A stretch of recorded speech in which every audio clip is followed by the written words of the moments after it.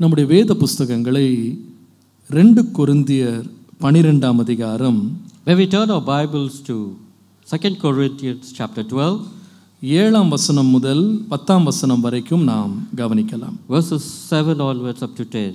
அன்றியும் எனக்கு வெளிப்படுத்தப்பட்டவைகளுக்குரிய மேன்மையின் நிமித்தம் நான் என்னை உயர்த்தாதபடிக்கு என் மாம்சத்திலே ஒரு முள் கொடுக்கப்பட்டிருக்கிறது. என்னை நான் உயர்த்தாதபடிக்கு அது என்னை குட்டும் சாத்தானுடைய தூதனாயிருக்கிறது. அது என்னை விட்டு நீங்கும்படி நான் மூன்று தரம் கர்த்தரிடத்தில் வேண்டிக் கொண்டேன் அதற்கு அவர் என் கிருபை உனக்கு போதும். பலவீனத்திலே என் பலன் பூரணமாய் விளங்கும் என்றார். ஆகையால் கிறிஸ்துவின் வல்லமை என்மேல் தங்கும்படி என் பலவீனங்களை குறித்து நான் மிகவும் சந்தோஷமாய் மேன்மை பாராட்டுவேன். அந்தபடி நான் பலவீனமாய் இருக்கும்போதே பலமுள்ளவனாய் இருக்கிறேன் ஆகையால் கிறிஸ்துவின் நிமித்தம் எனக்கு வரும் பலவீனங்களிலும் நிந்தைகளிலும் நெருக்கங்களிலும் துன்பங்களிலும் இடுக்கண்களிலும் நான் பிரியப்படுகிறேன் And lest I should be exalted above measure through the abundance of revelations, there was given to me a thorn in the flesh, the messenger of Satan to buffet me, lest I should be exalted above measure. For this thing I besought the Lord thrice, that it might depart from me. And he said unto me, My grace is sufficient for thee, for my strength is made perfect in weakness. Most gladly, therefore, will I rather glory in my infirmities, that the power of Christ may rest upon me. Therefore, I take pleasure in infirmities, in reproaches, in necessities, in persecutions, in distress, for Christ's sake. For when I am weak, then I am strong.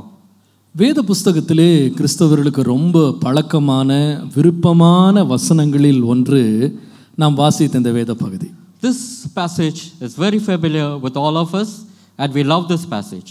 என் கிருபை உனக்கு போதும் பலவீனத்திலே என் பலன் பூரணமாய் விளங்கும் My grace is sufficient for thee, my strength is made perfect in thy weakness. இத வசனத்தை நாம் அநேகர் நம்முடைய வீடுகளிலே கூட நாம் மாட்டி வைத்திருக்கிறோம் We display this verse in our houses. இது அநேகருக்கு மனப்பாடமாய் தெரிந்த ஒரு வசனம் Most of us know this verse by heart.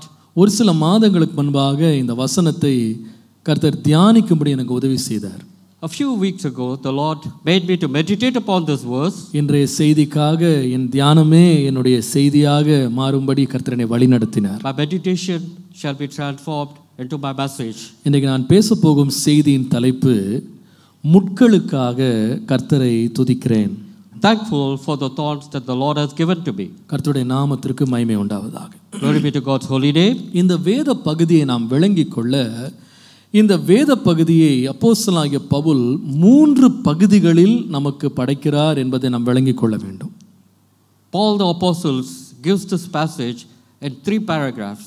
For முதலாவது- to understand this. முதலாவது ஒரு விசுவாசி அனுபவிக்க வேண்டிய வேதனையை பற்றி அவர் பேசுகிறார் First, he talks about the pain that a believer should endure. ரெண்டாவது அந்த வேதனை ஏன் ஒரு விசுவாசி அனுபவிக்க வேண்டும் என்று அது சொல்லுகிறது Second point, what he ponders is the purpose of pain. எந்த நோக்கத்திற்காக ஆண்டவர் வேதனையை நம் வாழ்க்கையில் அனுமதிக்கிறார் reason does the Lord permit this in our lives? மூன்றாவது இந்த வேதனையின் நடுவிலே தேவன் நமக்கு கொடுக்கும் அனுக்கிரகம் And thirdly, he talks about the providence through this pain. மூன்று காரியங்களை சொன்னேன் Three points that I did refer. முதலாவது தேவன் விசுவாசியின் வாழ்க்கையிலேயும் வேதனையை அனுமதிக்கிறார் The Lord permits pain in the lives of believers. இரண்டாவது Secondly, இந்த வேதனையை தேவன் ஏன் அனுமதிக்கிறார் for what reason does the Lord permit this pain? Allow மூன்றாவது this pain. இந்த வேதனையின் நடுவிலே தேவன் எவ்வாறு அனுக்கிரகம் செய்கிறார் How does the Lord provide us uh, during this pain? இந்த painful மூன்று time? காரியங்களையும் இந்த வேத பகுதியிலே நாம் வாசிக்கலாம் We do, we do read about the three points that we just pondered in this passage. முதலாவது First of all, ஏழாம் வசனத்திலே அப்போஸ்தலனாகிய பவுல் சொல்லுகிறார் at verse 7, the Paul apostle says, என் மாமிசத்திலே ஒரு முள் கொடுக்கப்பட்டிருக்கிறது There was a thorn given in my flesh, என்னை குட்டும் சாத்தானுடைய தூதனாய் இருக்கிறது the messenger of Satan to buffet me. ரெண்டு வார்த்தைகளால் தன் வேதனையை அவர் விளக்குகிறார் He explains his pain by two words. இது ஒரு நிச்சயமாக ஒரு சாதாரண வேதனையா இருக்க முடியாது என்று நாம் உணர்ந்து கொள்கிறோம் pain would not have been an ordinary pain. முதலாவது சொல்லுகிறார் இந்த வேதனை எப்படிப்பட்டதுன்னா ஒரு முள் ஒரு மனுஷனை குத்தினால் என்ன வேதனை இருக்குமோ அப்படிப்பட்ட உணரக்கூடிய ஒரு வேதனையை நான் அனுபவிக்கிறேன் First of all, he says, What sort of pain is it? It is as if a thorn is pricking in your body all the time. ரெண்டாவது அவர் சொல்லுகிறார் Secondly, he says, இது சாத்தான் என்னை குட்டுகிற தூதனை போல இருக்கிறது And it is the messenger of Satan to buffet me. ஆச்சரியமா இருக்கிறது It's quite extraordinary இந்த. வேதனையை அப்போஸ்தலனாகிய பவுல் இரண்டு நிலைகளில் நமக்கு விளக்குகிறார் Apo- Paul the Apostles, in two stages, he explains about this pain. முதலாவது First, அவர் சொல்லுகிறார் வேதனை ஒரு மனுஷனை சாதாரண மாமிசத்தில் இருக்கிறவனாக அவனை பார்க்க வைக்கிறது first of all, it permits a person to be seen as an ordinary person. Pavul பெரிய வெளிப்படுத்தல்களை பெற்றவன் Paul the Apostles had re- uh, received many revelations in his life, வான பரியந்தம் அவன் தரிசனங்களில் எடுத்து சென்று செல்- செல்லப்பட்டவன் and he has seen the visions up to the heavens. யாருக்கும் கிடைக்காத ரகசியங்களை தேவன் சபையை பற்றி பவுலுக்கு ஆண்டு And விளக்கி கொடுத்தார் secrets were told to, uh, told to Paul the Apostle. ஆவிக்குரிய வாழ்க்கையில ஒரு பெரிய ஒரு ஒரு ஜாம்பமான ஒரு ஜாயண்டாக அவன் நிற்கிறது நீங்க பார்க்கலாம் uh, in his spiritual life, he was extraordinary and he was very great. அவன் தன்னுடைய விசுவாசிகளை பார்த்து சொல்லுவார் He looks at his believers and says, நான் கிறிஸ்துவை எவ்வண்ணமாய் பின்பற்றுகிறேனோ அப்படியே நீங்கள் என்னை பின்பற்றுங்கள் என்று சொல்லுவார் I am an example. Follow me even as I follow the Lord Jesus Christ. அப்படிப்பட்ட ஒரு ஆவிக்குரிய முதிர்ச்சி உள்ள ஒரு உயர்ந்த ஒரு மனிதன் சொல்லுகிறார் And he was so steadfast in his following of Lord Christ. அவர் சொல்லுகிறார் And he says, என்னுடைய மாமிசத்துல என்ன இருக்கு and what does he say? என் மாமிசத்துல ஒரு முள் இருக்கிறது And this Paul the Apostle says, a thorn has been given into in my flesh. அதுல ஒரு உணர்வு அவருக்கு வந்தது What is that? He says, அவர் சொல்றாரு நான் ஆவிக்குரிய வாழ்க்கையில பெரிய ஜாம்பவானா இருந்தாலும் நான் இன்னும் எங்க தான் இருக்கேன்னா மாம்சத்துல தான் வாழ்றேன் though I know so many things about the spiritual life, but I still live in this world. as பாருங்க human." நம்ம நம்ம சந்தோஷத்தை அனுபவிக்கும் போது அநேக வேளை உலகத்தையே நாம் மறந்து போகிறோம் When we do enjoy this world, you tend to forget what is there in this world for us. ஆனால் என்றைக்கு நம்ம வேதனையை ஆரம்பிக்க அனுபவிக்க ஆரம்பிக்கிறோமோ நாம வந்து நிஜ வாழ்க்கை என்ன என்பதை உணர்ந்து கொள்ளுகிறோம் When we endure pain, only then we start realizing that we are in this world and we start experiencing the pain like others. தமிழ்ல சொல்லுவாங்க பாருங்க தலகால் தெரியாம ஆடுறாரு அப்படின்வாங்க Thank you, Lord. Huh? They don't even recognize, you know, where they are. You know, they have lost entire sense of reality. இது எப்போன்னு சொன்னா மகிழ்ச்சி வந்து நம்மளை அப்படியே உச்சகட்டத்துக்கு கொண்டு போயிடும் When we do enjoy in this life, we tend to forget us. ஆனா வேதனை வந்தா தரை மட்டும் நம்மளை தாழ்த்தி நாம இன்னும் மனுஷன்றதை உணர வைக்கும் And when we endure pain, we come down to the ground, we come down, and then we realize that we are still human. ஒன்றும் மறந்துடக்கூடாது இந்த வேதனை என்றைக்கு ஒரு மனுஷனுக்குள்ளே வருகிறதோ அவனை எல்லாரோடும் சரிசமமாய் நிறுத்தி விடுகிறது When we start enduring pain, we become equal to all the human beings of this earth. நாம விசேஷமான காரியங்களை செய்து கொண்டிருக்கலாம் ஆனா வேதனை அனுபவிக்கும் போதோ நாம விசேஷமானவர்களாக அல்ல எல்லாரை போல மாறி We விடுகிறோம் might be doing extraordinary things in our life, but we start enduring pain, we come down to the earth, and we are equal to all the humans in this earth. வேதனை ஒரு மனுஷனை சந்திக்கும் போது அது அவனு அவனை யார் என்று பாராமல் முகம் பாராமல் எல்லாரையும் அது ஒரே விதமாய் சந்திக்கிறது The pain, when a man endures, it equates him with all the other humans of this earth. நீங்கள் டாக்டராக இருக்கலாம் நோயாளியாக இருக்கலாம் இன்ஜினியராக இருக்கலாம் நீங்கள் சேல்ஸ்மேனாக இருக்கலாம் நீங்கள் ஒரு லாயராக இருக்கலாம் நீங்கள் கைதியாக இருக்கலாம் பெற்றோராக இருக்கலாம் பிள்ளையாக இருக்கலாம் டீச்சராக இருக்கலாம் ஸ்டூடெண்ட்டாக இருக்கலாம் எல்லாருக்கும் வேதனை உண்டு You, whatever you might be in your profession, when a pain comes into your life, you are a human and you come down to the earth and like we other all, human. we all share pain. Thank you, Jesus. When we have pain, we become an equal Thank with you. everyone. எல்லாரோடையும் நாம் சரி சமமான நிலைக்கு நாம் வருகிற நேரம் என்னன்னா வேதனை When we endure pain, that is the time when we become or we get equated to all the other humans in this life. இது ஒரு ஆச்சரியமா இருக்கு இவ்வளவு ஆவிக்குரிய வாழ்க்கையில உயர்ந்த மனுஷன் மாமிசத்துல எனக்கு வேதனை இருக்குன்னு சொல்றது உண்மையாவே ஆச்சரியமா இருக்கு This Paul the Apostle, who was a spiritual leader, he says, I have been affected in my body. ஒன்றை புரிந்து கொள்ளணும் இந்த வேதனை என்பது எல்லாருக்கும் ஒரே போல வேதனை இருக்காது The pain what we endure may not be the same for one and all. ஒவ்வொருவருக்கும் ஒவ்வொரு விதமா பே- வேதனை It இருக்கும் might differ from one another. ஆனா ஒன்றை மறந்துடக்கூடாது எல்லாருக்கும் வேதனை உண்டு But one thing we did not forget that it will be the same. இயேசு சொன்னாரு இந்த உலகத்துல உங்களுக்கு என்ன இருக்கு Lord said, There is உபத்திரவம் trials and tribulations in this world. அதுல இருந்து யாரும் தப்பிக்க முடியாது No one can escape இந்த from it. உலகத்துல நம்ம வாழ்ற வரைக்கும் நம்ம உபத்திரவத்தை அனுபவித்து தான் ஆகணும் There is trials and tribulations in this world and we cannot escape. None of us can escape. நம்ம பவுலா இருக்கலாம் சீலாவா இருக்கலாம் நம்ம என்ன மாஸ்டரா இருக்கலாம் பாஸ்டரா இருக்கலாம் எல்லாருக்கும் உபத்திரம் உண்டு And whoever we might be in this world, we have to endure pain. ஒரு பரிசுத்தவான் இப்படி சொன்னாரு A servant of God said that. நாம எல்லாருமே இந்த மூன்று நிலைகள்ல ஏதாவது ஒண்ணுல எப்பவுமே வாழ்ந்து He கொண்டிருக்கிறோம் said, out of these three stages, we have to endure one of the stages at one time or the other. முதலாவது நம்ம சில பேர் சொல்லுவோமா நான் இப்பதான் ஒரு பிரச்சனையிலேருந்து வெளியே வந்தேன் Sometimes we might say, I've just come out of my problem. இன்னொருத்தர் சொல்லுவாங்க நான் ஒரு பிரச்சனை வழியா நடந்து போயிட்டு இருக்கேன் Another person might say, I'm just going through the problems. இன்னொருத்தர் சொல்லுவாரு நான் அடுத்த பிரச்சனை வர்றதுக்காக காத்துக்கிட்டு இருக்கேன். The third person might say, I'm anticipating a problem. I am going through a problem I have come out of a problem I am waiting for the next problem to arrive Thank you, Jesus. ஆக மொத்தம் பிரச்சனை இல்லாத வாழ்க்கை என்பது நீங்களாம் பிரச்சனை இல்லைன்னு நினச்சிட்டு இருக்கீங்களா? No man can escape these trials and tribulations. உங்க வாழ்க்கையை பார்த்தீங்கன்னா ஒன்று நீங்க ஒரு பிரச்சனையை கடந்து வந்திருப்பீங்க அல்லது ஒரு பிரச்சனையில போயிட்டு இருப்பீங்க அல்லது அடுத்த பிரச்சனைக்காக காத்துக்கிட்டு உட்காந்துருக்கீங்க A person might be going through the problem, or you might be anticipating a problem, or you would have just accomplished or gone through a problem. Pavul ஒரு பெரிய கிறிஸ்தவ அடையாளமாக அவன் இருந்தாலும் தேவன் அவனையும் பாடுகள் வழியா தான் நடத்தினார் Paul was a gre- very great person, but still, Lord made him to endure this pain.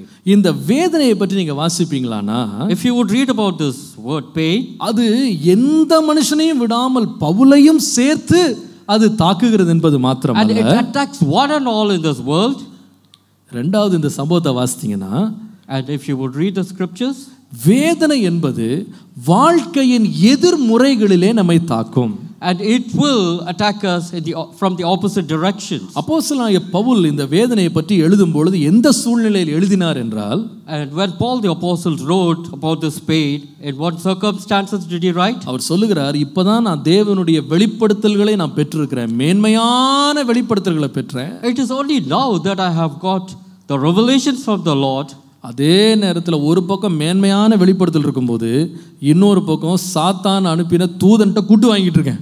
Though I have got the revelations from the Lord at one side, I am being buffeted by the Satan from the other side. இது நம்ப முடியாத ஒரு காரியமா இருக்கிறது. We are not able to apprehend this. ஏன் என்று சொன்னால் this. பவுலை பார்க்கும் பொழுது ஒரு வல்லமை உள்ள ஒரு அதிகாரம் உள்ள பிரபலமான ஒரு வெற்றியுள்ள மனுஷனை நம்ம பார்க்கிறோம் வெளியில. Paul the Apostles was very great, and we, have, we thus see him in the scriptures.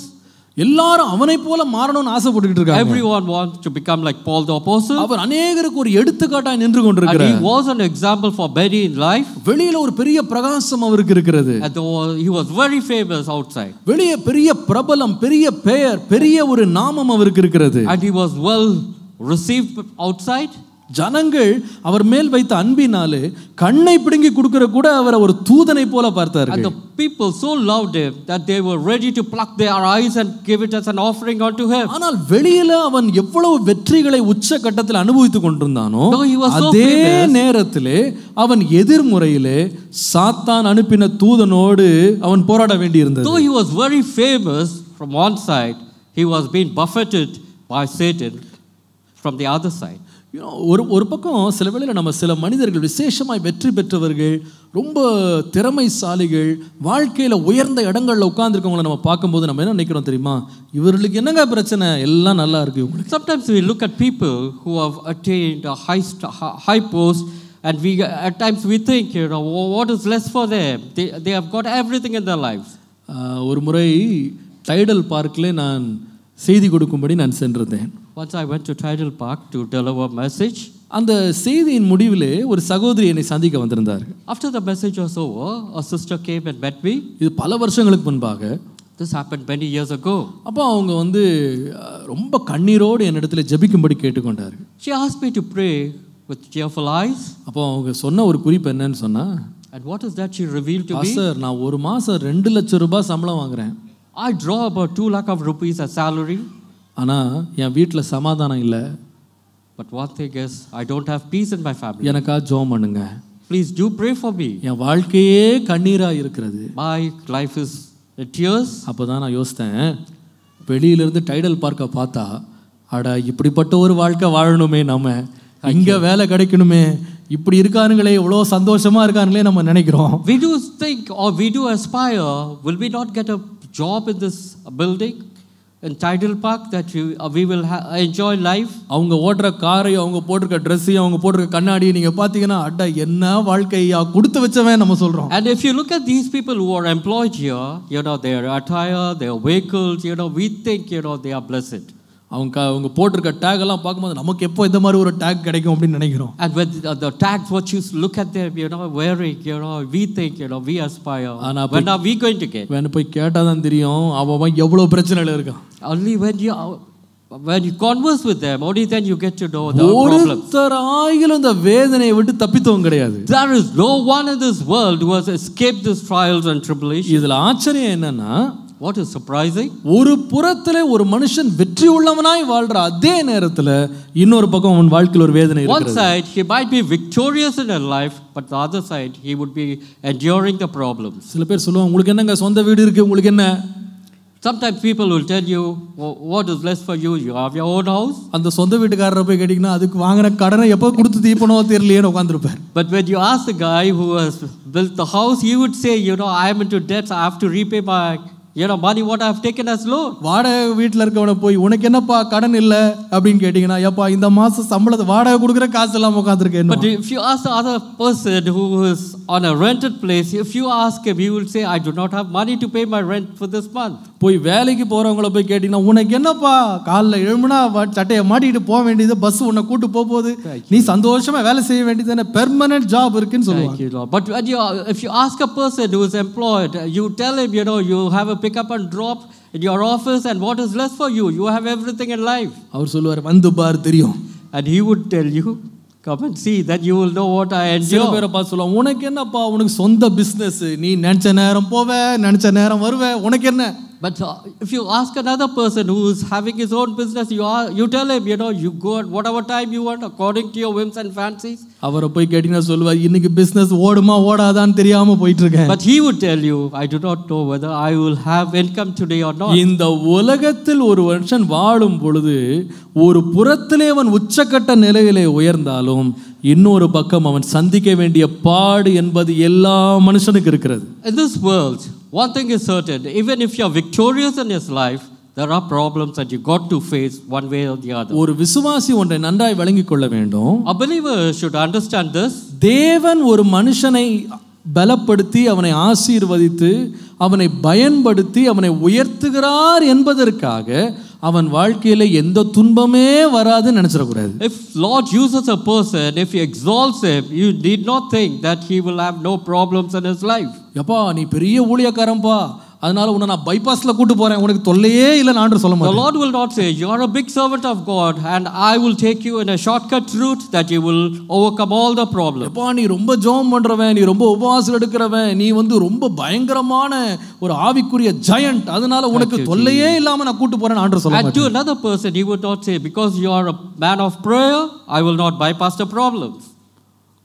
அப்போஸ்தலனாகிய பவுல் மிகுதியான வெளிப்படுத்தல்களை பெற்றுக்கொண்டிருந்த அதே நேரத்தில் சொல்றாரு என் மாம்சத்தில் ஒரு முள் கொடுக்கப்பட்டது All the apostles, he says, though he had many revelations from the Lord, he says, a thorn was given in my flesh. we stand in the opposites of life at many times Thank you, Jesus. நம்ம வாழ்க்கையில் இதை போன்ற எதிர்மறையான சூழ்நிலைகளில் கர்த்தர் நம்மை நிறுத்தாம விடவே மாட்டார் The Lord will not allow us, or he will certainly take us or help us to face the opposites of this life. ஒரு முறை இந்த யூத் மீட்டிங்கில் பிள்ளைகளை பற்றி தெரிந்து கொள்வதற்காக ஒரு சின்ன கூட்டம் வைத்திருந்தேன் And once I had a youth meeting and I wanted to know about the youths. So நிறைய பேரை பார்க்குறேன் அவங்களோட பின்னணியே எனக்கு தெரியாது சரி அவங்கள பற்றி ஒரு சாட்சி அவங்கள பற்றி கேட்கலாம் அப்படின்ட்டு அவங்கள எல்லாரும் கூட்டி சேர்த்துருந்தேன் So I just interacted with these youths. I just wanted to know about their background. So I just interacted with the youths. So அவங்ககிட்ட சொன்னேன் ஒரு ஆளுக்கு ரெண்டு நிமிஷம் கொடுக்குறேன் I said, I will give you two minutes. ஒவ்வொருத்தர் வந்து உங்கள் சாட்சியை கர்த்தர் உங்கள் வாழ்க்கையில் செய்த ஏதாவது ஒரு நன்மையை ஒரு சாட்சியாக ரெண்டே நிமிஷத்தில் சொல்லணும்னு சொன்னேன். And I, I told the youths, I will give you two minutes, each of you. So you come and testify what the Lord has done for you. ஒவ்வொருவராக எழும்பி மைக்கில் சாட்சி சொன்னார்கள் And everyone got up and they gave their testimonies. அதில் முடிவில் என் கண்ணே கலங்கி விட்டது uh, at last, I was in tears. ஏனென்றால் ஒவ்வொருவருடைய கதையும் கேட்கும்போது இந்த பையனுக்கா இந்த பிள்ளைக்கு இந்த பிரச்சனையா வெளியில பார்த்தா ஒண்ணுமே தெரியலையே Thank you, Lord. When they did narrate the testimonies, I was in tears to know whether these people have gone through the pains of this life. ஒரு ஆளை பார்க்கும்போது அவரோட உடையை பார்க்குறோம் அவங்க தோற்றத்தை பார்க்குறோம் அவங்க உயரத்தை பார்க்குறோம் அவங்களுடைய திறமைகளை பார்க்குறோம் அவங்க ஸ்டேஜில் என்ன வெளிப்படுத்துகிறாங்கன்னு பார்க்குறோம் ஆனால் ஒவ்வொரு வெற்றி உள்ள வீரனுக்கு பின்பாகவும் காயங்கள் இருக்கிறது என்பதை மறந்து போகவே கூடாது And we do look at people, we look outwardly, we look at their attire, we look at them, how they are. And one thing, please do not forget in the behind the victorious life, they have endured problems in their lives. ஒரு ஊழியக்காரனை நீங்கள் மேலே பார்க்கும்போது இங்கே வெள்ளையும் வெள்ளையுமா நாங்கள் போட்டு ஜம்பமாக நின்று பயங்கரமாக அக்கினியாக பேசினாலும் Thank you. எங்கள் வாழ்க்கையிலும் வேதனைகள் உண்டு Though we talk of, we preach the words to you, we also have problems in our life. எல்லா மனுஷனும் இந்த பாதையில கடந்து போகிறான் Each and everyone in this world have problems in their life. வேதத்தை எழுதப்பட்டது போல Even as it is written in the scriptures, பூதலத்தோர் போகிற வழியே நானும் போகிறேன் and even I as go the in the- messenger goes Yeah, or the I- leader goes, I follow. I go in the way of all the men of this world Thank there is no special way for me கர்த்தர் எல்லாரையும் ஒரே பாதையில் நடத்துறார் we all have our pain Thank you, Jesus. We do, endure, எல்லாருக்கும் வேதனை உண்டு we do endure pain. Each and everyone in this world, we என்னுடைய endure pain. வேதனை உங்க வேதனையா இல்லாம இருக்கலாம் My problem may not be the same as yours. ஒவ்வொருவருடைய வேதனையின் அளவு வித்தியாசமா இருக்கலாம் The parameters, all it might differ. The ஆனால் pain, வேதனை என்பது எல்லாருக்கும் சமமானது and the problem is common for each and every. அதுவும் விசேஷமாக நம் வாழ்க்கையின் வெற்றிகளையும் உயர்வுகளை நாம் ஏறும்போது மறுபக்கத்தில் சில வேதனைகள் வருகிறது When we become victorious in our lives, from the opposite directions, the problems do attack. us. ஆனால் அப்போஸ்தலனாகிய பவுல் இங்கே நான் முள்ளினால் குத்தப்படுகிறேன் நான் சாத்தானுடைய தூதனால் குட்டப்படுகிறேன் என்று மாத்திரம் அவர் சொல்லவில்லை Here, Paul the Apostle doesn't say that I, am, I have got a thorn in my flesh or the messenger of Satan is buffeting me. இந்த வேதனையினுடைய நோக்கம் என்ன என்பதை அவர் அறிந்து வைத்தார் the main point o- o- o- about this pain? அவர் சொல்லுகிறார் does he say? எனக்கு வெளிப்படுத்தப்பட்டவைகளுக்குரிய மேன்மை நிமித்தம் நான் என்னை உயர்த்தாதபடிக்கு என் மாம்சத்திலே ஒரு முள் கொடுக்கப்பட்டிருக்கிறது Paul the Apostle says that a thorn has been given into my flesh, and the messenger of Satan buffeted me, lest I should exalt above measure. நான் என்னை உயர்த்தாதபடிக்கு இந்த பிரச்சனை வந்தது Lest I should be exalted above measure. Number two there is a purpose behind every problem Thank you, Jesus. தேவன் எந்த வேதனை வழியாக ஒரு மனுஷனை நடத்தினாலும் அதற்கு தேவன் ஒரு நோக்கத்தை வைத்திருக்கிறார் The Lord has got a plan and purpose in everyone's life behind this pain. அப்போஸ்தலனாகிய பவுல் சொல்லல எனக்கு வேதனை வந்துச்சு அது எதுக்கு வந்துச்சுனே எனக்கு தெரியல அப்படின்னு சொல்லல Paul the Apostle doesn't say that he does not know the reason for the problem. அவர் சொல்றாரு என்? சரீரத்துல நான் அனுபவிக்கிற வேதனைக்கு ஒரு ஒரு ஒரு காரணம் இருக்கிறது That is the reason for being being given a thorn in my flesh. எதற்காக இந்த வேதனை வந்தது For what reason was this problem? ரெண்டு முக்கியமான காரியங்களை அவர் இங்கே சொல்லுகிறார் Here are two things that he refer over here. முதலாவது அவர் சொல்லுகிறார் First of all, நான் என்னை உயர்த்தாதபடிக்கு lest I should be exalted above measure, நான் என்னை உயர்த்தாதபடிக்கு lest I exalt myself. அது அர்த்தம் என்ன What does it mean? முதலாவது First of all, நான் என்னுடைய சமநிலையை நான் இழந்து விடக்கூடாது that you do not lose your balance and that you should exalt yourself. For the offset of my life, God brings problems, God brings pain, so that I will maintain stability and balance. நான் ஒரு காரியத்தில் உயர்த்தப்படும் பொழுது அந்த உச்சக்கட்டத்தில் போய் நான் வந்து சமநிலையை இழந்து கவிழ்ந்து போகாதபடிக்கு தேவர் இன்னொரு பக்கத்தில் ஒரு பிரச்சனையை கொண்டு வருகிறார் The Lord does permit this pain in my life because I do not exalt myself or I, be, I do not become arrogant because of my victorious life. நீங்கள் வேதத்திலே வாசிப்பீர்களானால் பரிசுத்தவான்கள் இந்த சமநிலை பேலன்ஸ் நம்ம வாழ்க்கையில் இருக்கணும் என்பதில் ரொம்ப கண்ணும் கருத்துமா இருந்திருக்கிறார்கள் In the uh, scriptures, we read about the servants of God who want to maintain this balance in their lives. நீதிமொழிகள் முப்பதாம் அதிகாரம் ஏழு எட்டு வசனங்களை வாசித்தால் Proverbs 30, 7 and 8. அவர் சொல்லுகிறார் ரெண்டு மனுக்களை உம்மிடத்தில் கேட்கிறேன் நான் மறிக்கும் பரியந்தம் அவைகள் எனக்கு மறுக்காமல் தர வேண்டும் அது என்னவென்றால் மாயையும் பொய் வசனம் எனக்கு தூரப்படுத்தணும் தரித்திரத்தையும் ஐஸ்வர்யத்தையும் எனக்கு கொடாமல் இருக்க வேண்டும் Do not give me riches and poverty in my life. அவர் ஏன் அதை சொல்லுகிறாருன்னு சொன்னா For what reason does he say? எனக்கு பரிபூரணம் அடைந்தா நான் கர்த்தரை மறுதளிச்சிடக்கூடாது When I have my full, let me not deny God. அதே நேரத்தில் எனக்கு தரித்திரம் வர்றதுனால நான் திருடி தேவனுடைய நாமத்தை வீணில வழங்கிடக்கூடாது Lest I be poor, that I rob, that I do not take the name of the Lord in vain. அப்போ அவர் சொல்றாரு கர்த்தாவே எனக்கு வேண்டியதை எனக்கு அளந்து என்னை போஷித்தரணும் Lord, provide me that I have my balance and provide me that I need. அப்போ அந்த பேலன்ஸ் வரணும்னா ஆண்டவர் அளந்து கொடுக்குறாரு சிலதெல்லாம் Sometimes the Lord does measure whatever we need in our life. தமிழ்ல சொல்லுவாங்க ஆட்டுக்கு வாள் அளந்து தான் வச்சிருக்குன்னுவாங்க இல்லை The goat's tail is measured. ஆ, ஆண்டவர் சில வேளையில் நம்ம வாழ்க்கையில் வந்து இந்த பிரச்சனைகளை எதற்கு தடவை கொண்டு வர்றாருன்னா நம்ம ஏதாவது ஒரு உயர்விலேயோ ஒரு மேன்மையிலேயோ நம் மேட்டிமை அடையாதபடிக்கு தேவன் நம்மை சமநிலைக்கு கொண்டு வர்றார் The Lord does permit this pain or these problems in our life so we do not become arrogant because of our victorious life. எந்த ஒரு உயர்வும் பேலன்ஸை இழந்து விடுமானால் அது ஆபத்தானது And if we lose our balance, it's quite dangerous in your life. ஒரு car ரொம்ப வேகமாய் போகலாம் So time must be passing. ஆனால் அந்த வேகமாக போகிற காருக்கு பேலன்ஸ் போயிருச்சுன்னா உள்ள இருக்க அத்தனை பேருக்கு ஆபத்து தான் And if you lose your balance when you're driving a car, it's quite dangerous. அந்த பேலன்ஸ் என்ன தெரியுமா? எந்த அளவுக்கு ஒரு கார் வேகமாய் போகிறதோ அந்த அளவுக்கு அந்த கார்ல பிரேக் ஒழுங்கா வேலை செய்யணும் To what use or to what extent the speed of the car is, the brake got to be uh, a- a- in a perfect form. You know ஒரு ஒரு விமானம் பறக்குதுன்னு சொன்னா அதை திரும்புறதுக்கு கூட ஒரு பேலன்ஸ் வச்சிருக்காங்க இவ்வளோ டிகிரியில தான் திரும்பணும் அதை மிஞ்சி திரும்பினதுன்னா அவ்வளோ பெரிய விமானம் கீழே விழுந்துரும் Even the flights, when, we, go- when it takes off, it has to maintain its balance. Even it got to turn, it has to keep the balance. எவ்வளவு தூரம் நம்ம உயர்றோமோ அந்த அளவுக்கு ஆபத்து இருக்கு And to what height that we rise, there is danger. அதான் ஒருத்தர் சொன்னாரு ஒருவன் நின்று கொண்டு விழுந்தா அடி கம்மி And if you stand and fall, the wound will be. ஆனா அதே இது பத்து மாடியிலேருந்து விழுந்தா ஆளே காலி But whereas if you fall from the 10th floor, you will die. எவ்வளவு அதிகமாய் உயர்வு வருகிறதோ அவ்வளவு அதிகமாய் ஆபத்து இருக்கிறது To what extent that you rise in your life, there is danger in your life. ஆண்டவர் ஒரு புறம் நம்மை உயர்த்தி கொண்டே இருக்கும் பொழுது அவர் எதுல கவனமா இருக்கிறார்னா நாம் அந்த மேன்மையே நமக்கு என்ன கொண்டு வந்துடக்கூடாது. மேட்டிமையை கொண்டு வந்துடக்கூடாது The Lord exalts us, and we got to be careful that it doesn't bring a downfall to us.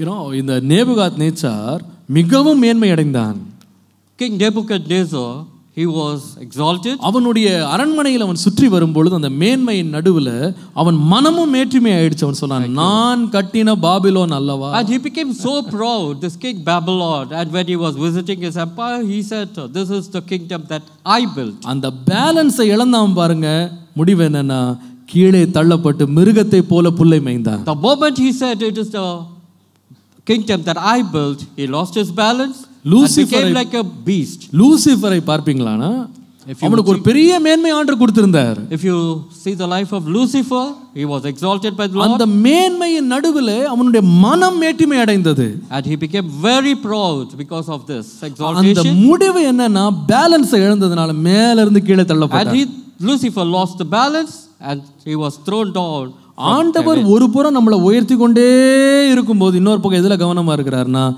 நாம சமநிலையாய் வாழும்படி தேவன் ஒரு பிரச்சனையை நம்ம வாழ்க்கையில வச்சிடுறாரு. Lord, He does exalt us, and the Lord is always observing you whether you maintain your balance or not. நீங்கள் வெற்றி பெறுகிற எந்த ஒரு மனுஷனை போய் பாருங்க. If you look at the victorious persons, அவங்க சொல்லுவாங்க எந்த அளவுக்கு அவங்க உயர்றாங்களோ அந்த அளவுக்கு அவங்கள திரும்ப சமநிலைப்படுத்த ஒரு பிரச்சனை இருந்துகிட்டே தான் இருக்கும்.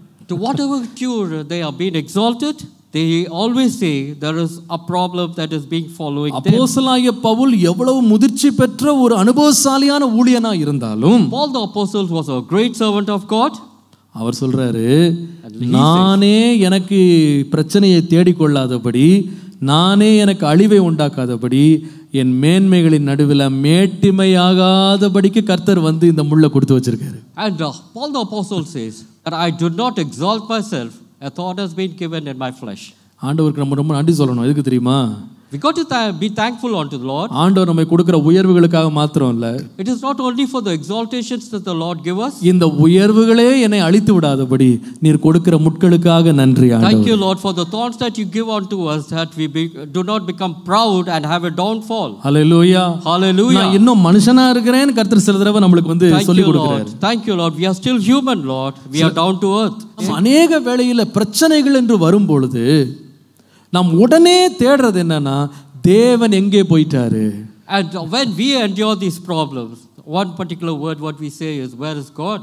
one question many people ask Thank is you, Lord. if god is with me why do i get into these Thank problems you, Jesus. Thank you, Jesus.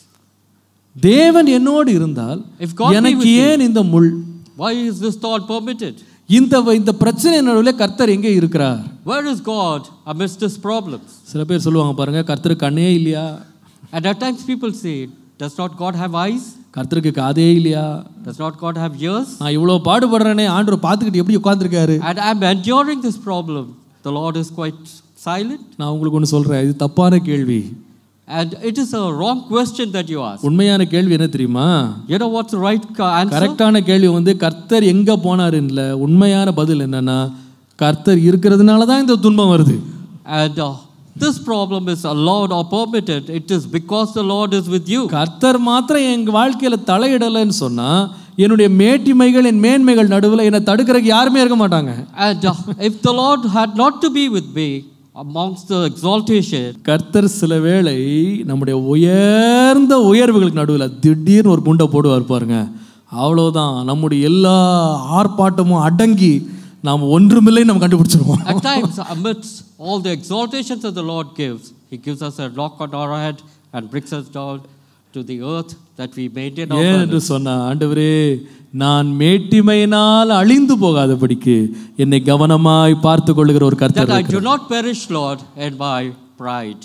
ஆச்சரியமா இருக்கிறது இது இதை போல பாதையை பரிசுத்தவான்கள் கடந்திருக்கிறார்கள் The servants of God has gone through this passage. நீங்கள் யோசேப்பின் வாழ்க்கையை பார்ப்பீர்களானால் If you look into the life of Joseph, யோசேப் ஒரு பெரிய தரிசனம் காண்கிற ஒரு மனுஷனா இருந்தான் and he had a great vision in his life, அவன் வீட்ல யாருக்குமே அந்த கிருபை கிடையாது and none of the other members of the family had that grace. தன்னுடைய வாழ்க்கையை பற்றிய தரிசனம் பார்க்கிற வரம் அவனுக்கு இருந்தது மாத்திரமல்ல. He had the vision to see about his own life, அதே நேரத்துல மற்றவர்களுடைய தரிசனங்களையும் விளக்கி சொல்லக்கூடிய ஆவியை பெற்றவனாய் அவன் and he இருந்தான் was able to explain the dreams and visions of others too by the Spirit of ஆனால். அவனை நன்றாய் கவனித்து பார்த்தீங்கன்னா If you would uh, ponder on his life, எப்பொழுதெல்லாம் அவன் தரிசனத்தை சொல்லி உயரலாம்னு நினைப்பானோ அந்த உயர்வு நடுவில் ஒரு எரிச்சல் அவன் பின்னாடியே வரும்.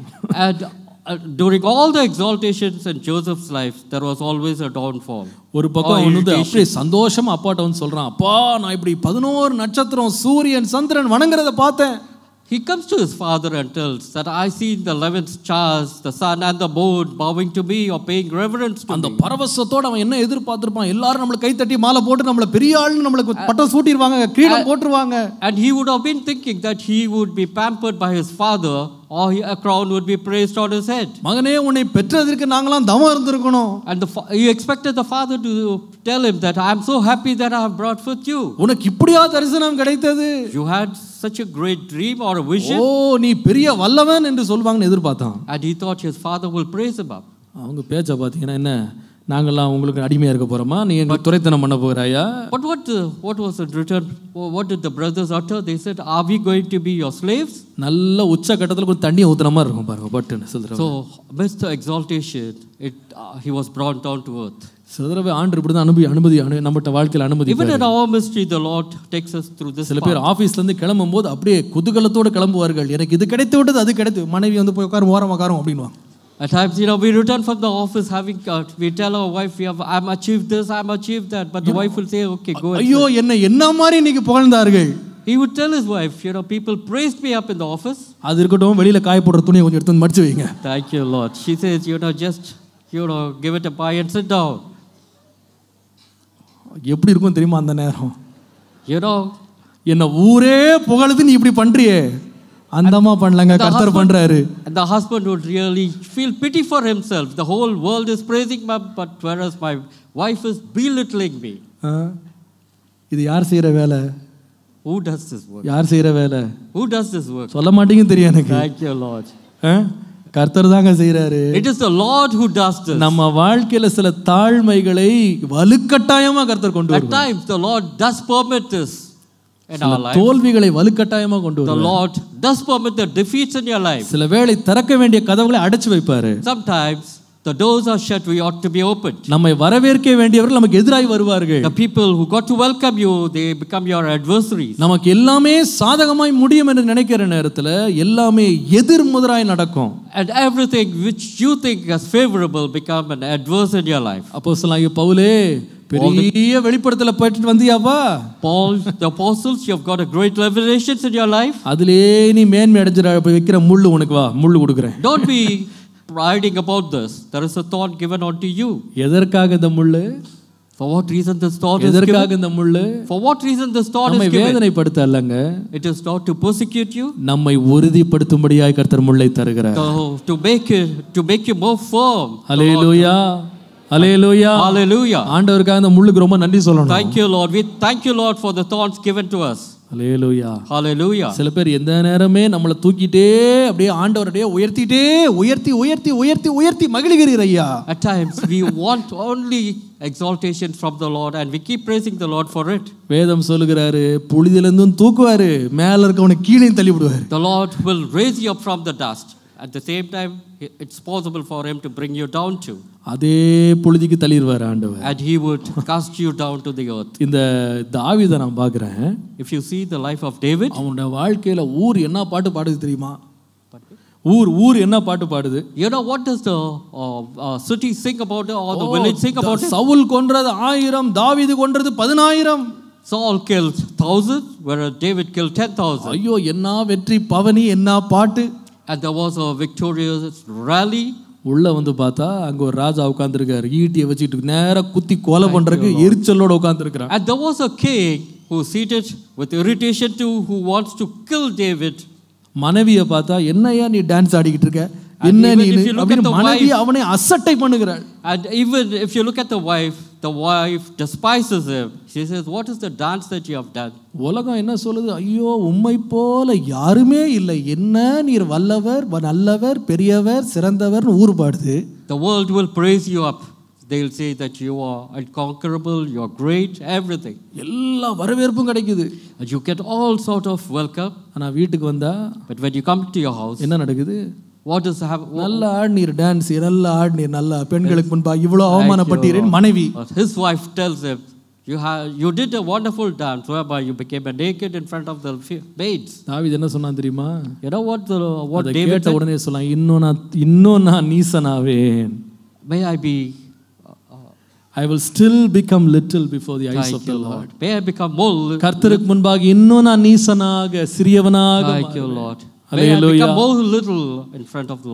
ஒரு மனுஷனை சில வேளை தாழ்மைப்படுத்த தேவன் சில வேளை சில மனிதர்களை நம்ம வாழ்க்கையில கொண்டு times, வருவார் the Lord permits other people to belittle you.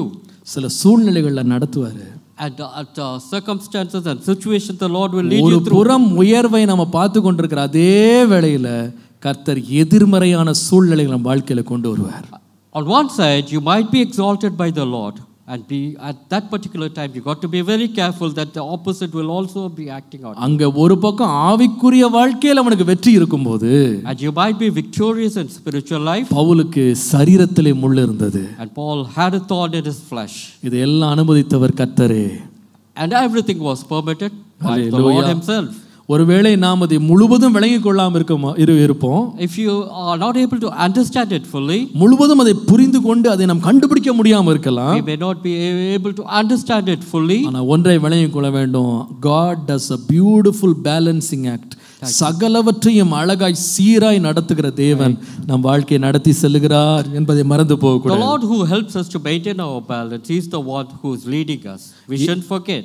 எதற்காக இதை செய்கிறார் For what reason does He do this? எதற்காக இதை செய்கிறார் For what reason does He do this? இங்கே அப்போஸ்தலனாகிய பவுல் சொல்லுகிறார் And Paul the Apostles here says, எனக்கு வெளிப்படுத்தப்பட்டவைகளுடைய மேன்மை நிமித்தம் நான் என்னை உயர்த்தாதபடிக்கு and he says here, lest I should exalt myself above measure. இது எதை பற்றி சொல்லுகிறது What does it depict? இந்த போராட்டங்களினாலே தேவன் நம்மிடத்திலே கொண்டு வர விரும்புகிற விளைவு என்ன what is the outcome that God wants to bring through this mess Thank you, Jesus. இந்த வேதனைகள் என்னத்தை கொண்டு வர போகிறது What is this problem that is going to bring to us? இது நீங்க நல்லா கவனிக்க வேணும் You got to listen carefully. ஆண்டவர் நம்முடைய வாழ்க்கையில இருக்கும் மேன்மையான வெற்றிகளை பார்ப்பதை பார்க்கிலும் எதுல ரொம்ப கவனமா இருக்கிறார்னா நம்முடைய இருதயம் எந்த நிலையில் இருக்கிறன்றது தான் கர்த்தருக்கு ரொம்ப முக்கியம் The Lord does see into our heart. During the time of exaltation, what is the plight of our heart? Let me put it in this way God is more interested in our attitude than our accomplishments. நாம் எடுக்கும் வெற்றிகளை பார்க்கிலும் தேவன் நம்முடைய இருதயத்தின் மனநிலை எப்படி இருக்குன்றதா ஆண்டவர் ரொம்ப முக்கியம் காட்டுறார் The Lord does want to know the balancing act, what is going through in our hearts. What is the attitude of my heart What is the attitude of your heart? நான் பெரிய அக்கம்ப்ளிஷ்மெண்ட் முடிக்கிறவனா இருக்கலாம் பெரிய காரியங்களை சாதிக்கிறவனா இருக்கலாம் You could have accomplished many great things in your life. But என்னுடைய மனநிலையோ மேட்டிமையில இருக்குமானால் If you are proud, or what is the nature of your attitude in your heart, the Lord wants to know. ஆண்டவர் சொல்றாரு எனக்கு உன்னுடைய செய்கைகள் இல்லப்பா உன் இருதயத்தின் நிலை தான் எனக்கு ரொம்ப முக்கியம் The Lord says, I want to know the plight of your heart. நல்லா கவனிங்க தேவன் நம்முடைய வாழ்க்கையின் மூலமாய் அவர் நிறைவேற்றுகிற கிரியைகளை நாம் இல்லாமலே அவர் நிறைவேற்ற வல்லவராய் The இருக்கிறார் Lord is able to accomplish everything even without us in the lives of people. You know நம்முடைய வாழ்க்கையில நாம் ஒரு இடத்துல இல்லாமலே தேவன் கிரியைகளை செய்து முடிக்க ஒருவராய் அவர் சகலவற்றையும் செய்ய வல்லவராய் இருக்கிறார் And the Lord is able to perform everything even without using our uh, availability. The எத்தனை Lord is பேர் able to விசுவாசிக்கிறீங்க perform. நான் Thank இல்லாமலே you. என் தேவன் பெரியவர் Thank you, Lord. நான் இருக்கிறதுனால தேவன் பெரியவர் நான் இல்லாமலே தேவன் Is it பெரியவர் because of me the Lord is being exalted or God is great? நாம செய்கிற கிரியைகளினால ஆண்டவர் பெரியவரா மாறுறது It இல்ல is not because of our deeds that the Lord becomes great. தேவனுக்கு நம்முடைய கிரியைகள் அல்ல நம்முடைய இருதயத்தின் நிலை தான் ரொம்ப முக்கியம் The Lord doesn't want our deeds, but He wants the state of our hearts. அப்போஸ்தலனாகிய பவுலே நீ பெரிய வெளிப்படுத்தல பெற்றிருக்கலாம்பா Paul the Apostle, you have got revelations. தேவனை கவருகிறது நம்முடைய வெளிப்படுத்தல்கள் அல்ல is நம்முடைய not our- இருதயத்தினுடைய தாழ்மை தான் கர்த்தரை கவருகிறது It is not our revelations that what we receive from the God which exalts God, but it is our status or the attitude of our heart which ஆண்டவர் exalts God. இதையெல்லாம் ஏன் நம்ம வாழ்க்கையில அனுமதிக்கிறாருன்னா Why does Lord permit all this in your life? வேதம் சொல்லுகிறது நம்மை புடமிடும்படியாக It is to uh, purify or to நம் நம்மை பியூரிஃபை ஹார்ட். நம்முடைய இருதயத்தை புடமிட்டு நம்முடைய இருதயம் தாழ்மையினால் அலங்கரிக்கப்படுவது தேவனுக்கு முக்கியமான காரியம் The Lord wants us to maintain our balance. He wants us to be humble at all point of time and let us not be proud in our hearts. நம்முடைய வாழ்க்கையில தேவன் அனுமதிக்கும் ஒவ்வொரு பாடையை நீங்க ஆராய்ந்து பார்ப்பீங்களானா அதனுடைய பின் விளைவை ஆண்டு எங்க பார்க்க விரும்புறாருன்னா நம்முடைய இருதயத்தின் நிலையை கர்த்தர் மாற்ற விரும்புறார் Lord wants to know the after effects of the problem that what the Lord has given onto us, and He wants to see the state of our hearts. நம்முடைய இருதயத்தை அதன் மூலமாய் புடமிடுகிறார் And He searches our hearts by this problem. நீதி அஹ், சங்கீதம் நூற்றி பத்தொன்பது அறுபத்தி ஏழை நீங்கள் வாசிப்பீர்களானா If you would read Psalm 119 and verse 16, sixty seven நான் உபத்திரவப்படுகிறதற்கு முன் வழி தப்பி நடந்தேன் இப்பொழுதோ உம்முடைய வார்த்தையை காத்து நடக்கிறேன். Before I was afflicted I went astray but now have I kept your word. அப்போ உபத்திரவம் என்ன செய்தது? What does the problems do unto you? நான் வழி தப்பி நடந்தவனை இப்பொழுது வார்த்தையை காத்து நடக்கிறதுக்கு என்னை நடத்தி விட்டது The problems did take me away from the path, but it has brought me back onto the அதே right path. பதி பத்தொன்பதாம் சங்கீதம் எழுபத்தி ஓராம் வசனத்தை நீங்கள் வாசிப்பீர்களானால் At 119 and verse 71. நான் உபத்திரவப்பட்டது எனக்கு நல்லது அதனாலே உமது பிரமாணங்களை என்ன செய்தேன் It is good for me that I have afflicted, that I might learn your statutes. உம்முடைய பிரமாணங்களை கற்றுக்கொண்ட ஆண்டவரே Thank you, Lord. Hallelujah Hallelujah. யோபு சொல்லும்போது சொல்லுவாரு Even Job, when he says, யோபு இருபத்தி மூன்று பத்தை வாசிப்பீர்களானா if you would read Job 23 and 10, நான் போகும் வழியை அவர் அறிவார் the Lord knows the path that I take. அவர் என்னை சோதித்த பின் பொன்னாக விளங்குவேன் Before I am tried, I would come forth as gold. Hallelujah Hallelujah. அப்ப ஒரு காரியம் நடந்துட்டு இருக்கு There is one thing which is taking place. இந்த முட்கள் என் வாழ்க்கையில எவ்வளவு அதிகமா என்னை குத்துகிறதோ The thorns which has been in my flesh, to the tune that it pricks me. அது சரீரத்துல அந்த வேதனை இருந்தாலும் Though I have the pain in my body, அதனுடைய விளைவு எங்க தெரியுதுன்னு சொன்னா what does the result bring? அது என்னுடைய இருதயத்தை மாற்றுகிறது And it transforms your heart. பொதுவாகவே கவனிச்சு பாருங்க வாழ்க்கையில ரொம்ப அடிபட்டவங்க வாழ்க்கையில ரொம்ப கஷ்டப்பட்டவங்களுடைய சுபாவமே ரொம்ப புடமிடப்பட்டதா And if you look at people who have been afflicted, and if you see their character or their nature, it will be totally changed. அவங்க ரொம்ப அன்புள்ளவர்களா இருப்பாங்க Those people who are affected, they will be very loving சிலர் ரொம்ப சகிக்கிறவர்களா இருப்பாங்க and they would uh, endure சிலர் வந்து ரொம்ப உண்மை உள்ளவர்களா இருப்பாங்க and they would be honest அவங்க சில பேர் வந்து அவங்க வேலையில் ரொம்ப கருத்துள்ளவர்களா இருப்பாங்க they will be very true to the jobs. கமிட்டடாக இருப்பாங்க இவங்களாம் எங்கேருந்து பார்த்தீங்கன்னா அந்த பாதை வழியாக அவங்க கடக்க கடந்து வந்தாங்க Why is this happening? Because of the persecution that they have gone through. அவங்க வாழ்க்கையில் வந்து அந்த நெருக்கங்களே அவங்களை என்னவா மாத்திருச்சுன்னா நற்குணசாலிகளாய் அவர்களை மாற்றி The விட்டது. afflictions, what they endured in their life, they are being perfected. இந்த நெருக்கங்களையும் முட்களையும் அனுபவிக்காதவங்க பொதுவாகவே அவங்க வாழ்க்கையில பூரணராக அவங்க மாறுறதே இல்லை And uh, those people who are not being affected by these thorns, they will not become perfect in their life. ஒரு பொன் சுத்தமிடப்பட வேண்டுமானால் சுத்தமாக்கப்பட வேண்டுமானால் அக்கினி வழியாய் செல்கிறது Even if the gold got to be purified, it is put into the furnace. அந்த அக்கினியை கடந்து செல்லும் பொழுது அதுல ஒரு பெரிய சுத்திகரிப்பு உண்டாகும் the gold is tried in the furnace, it comes forth as gold. எவ்வளவு அதிகமாக. சூடு இருக்கிறதோ அவ்வளவு அதிகமான சுத்திகரிப்பு இருக்கிறது and to the higher tuned the heat is, the more the purification is. நம்முடைய வாழ்க்கையில ஆண்டவர் முட்களை கொண்டு வரும்போது நம்மை வேதனைப்படுத்தும்படி அதை கொடுக்கிறது இல்லை The Lord permits the thorns in our life not to belittle you or to make you to suffer. அதன் மூலமாய் நம்முடைய ஆத்துமாவை சுத்திகரிக்கிறார் That He wants our hearts to be purified. அலேலுயா Hallelujah. நம்முடைய ஆத்துமா இன்னும் பூரணம் அடைகிறது That our souls becomes more purified. அப்போஸ்தலனாகிய பவுல் சொல்லுகிறார் நான் இந்த இந்த வெளிப்படுத்தல்கள் எல்லாம் பெற்றது சந்தோஷம்தான் ஆனால் அந்த வெளிப்படுத்தலின் முடிவில் நான் இன்னும் தாழ்மையாக இருக்கிறது காரணம் என்னன்னு சொன்னால் கர்த்தர் என்னை கொடுத்த முட்களினால் என்னை Though I தேவன் have all these- தாழ்த்தினார் Though I have these visions and the revelations, I do not exalt myself because of the thorns which has been given in my flesh. அவருடைய வாழ்க்கையை நீங்கள் பார்ப்பீர்களானா If you look into the life of Paul அவருக்கு the apostle, ஒப்பாக எந்த அப்போஸ்தலன் நீங்க கொண்டு வர முடியாது no, uh, no, uh, no other apostles can be compared unto him, அவருடைய சமுதாய நிலையில இவர் ரொம்ப உயர்ந்தவராக இருந்தார் and he was above all the other apostles எல்லா நிலையிலேயும் and, and all aspects, பண ரீதியில அவர் ரொம்ப பணக்காரராக இருந்தாரு and he was very rich, அதே நேரத்துல படிப்புல எல்லாரும் விட ரொம்ப படிச்சவரா இருந்தாரு and he was a very learned apostle. கமாலியலுடைய பாதத்துல உட்கார்ந்து படித்தாரு He was uh, at the feet of Gamaliel, எல்லாரை விட வேதத்துல அதிகமான புஸ்தகங்களை எழுதினாரு and he did write many epistles. அதிகமான சபைகளை ஸ்தாபித்தாரு and he did uh, establish many churches, அதிகமான தேசங்களுக்கு பய- பயணம் பண்ணினாரு and he did uh, travel. தேவன் அவரை யாரை போல இல்லாம மிகவும் உயர்வாக தேவன் அவரை பயன்படுத்தினார் used mightily in his life. மற்ற எல்லாரை போல அல்லாம அவர் புறஜாதிகளுக்கும் ராஜாக்களுக்கும் யூத ஜனங்களுக்கும் சுவிசேஷத்தை அறிவிக்கிறவரா இருந்தார் he did preach or he did bring the gospel onto the heathens. ஆனால் இவ்வளவு மேன்மை உள்ள மனுஷன் அதே நேரத்துல ரொம்ப தாழ்மை உள்ளவளா இருந்தாரு And although he was so famous, he was humble in his life. இவ்வளவு உயர்த்தப்பட்டாலும் அவ்வளவு தாழ்ந்தவராய் தன் உள்ளத்துல இருந்தாரு Though, although he was exalted to that exchange, you know, he humbled himself before the யாருக்கும். கிடைக்காத தரிசனங்கள் அவர் கிடைத்திருந்தாலும் தாழ்ந்தே இருந்தாரு And he was always humble uh, in spite of getting the our visions from the Lord. அவர் சொன்னாரு "ஆ, ஆ, நான் பாவியில He said, பிரதான பாவி I'm the greatest of the sinners, he said. அப்போஸ்தலன் என்று அழைக்கப்படுவதற்கு நான் பாத்திரன் இல்லை And I was great that I was being called as an apostle. I'm I'm not worthy to be called அப்பா இதெல்லாம் எப்படி சொன்னார் அப்படின்னு சொன்னா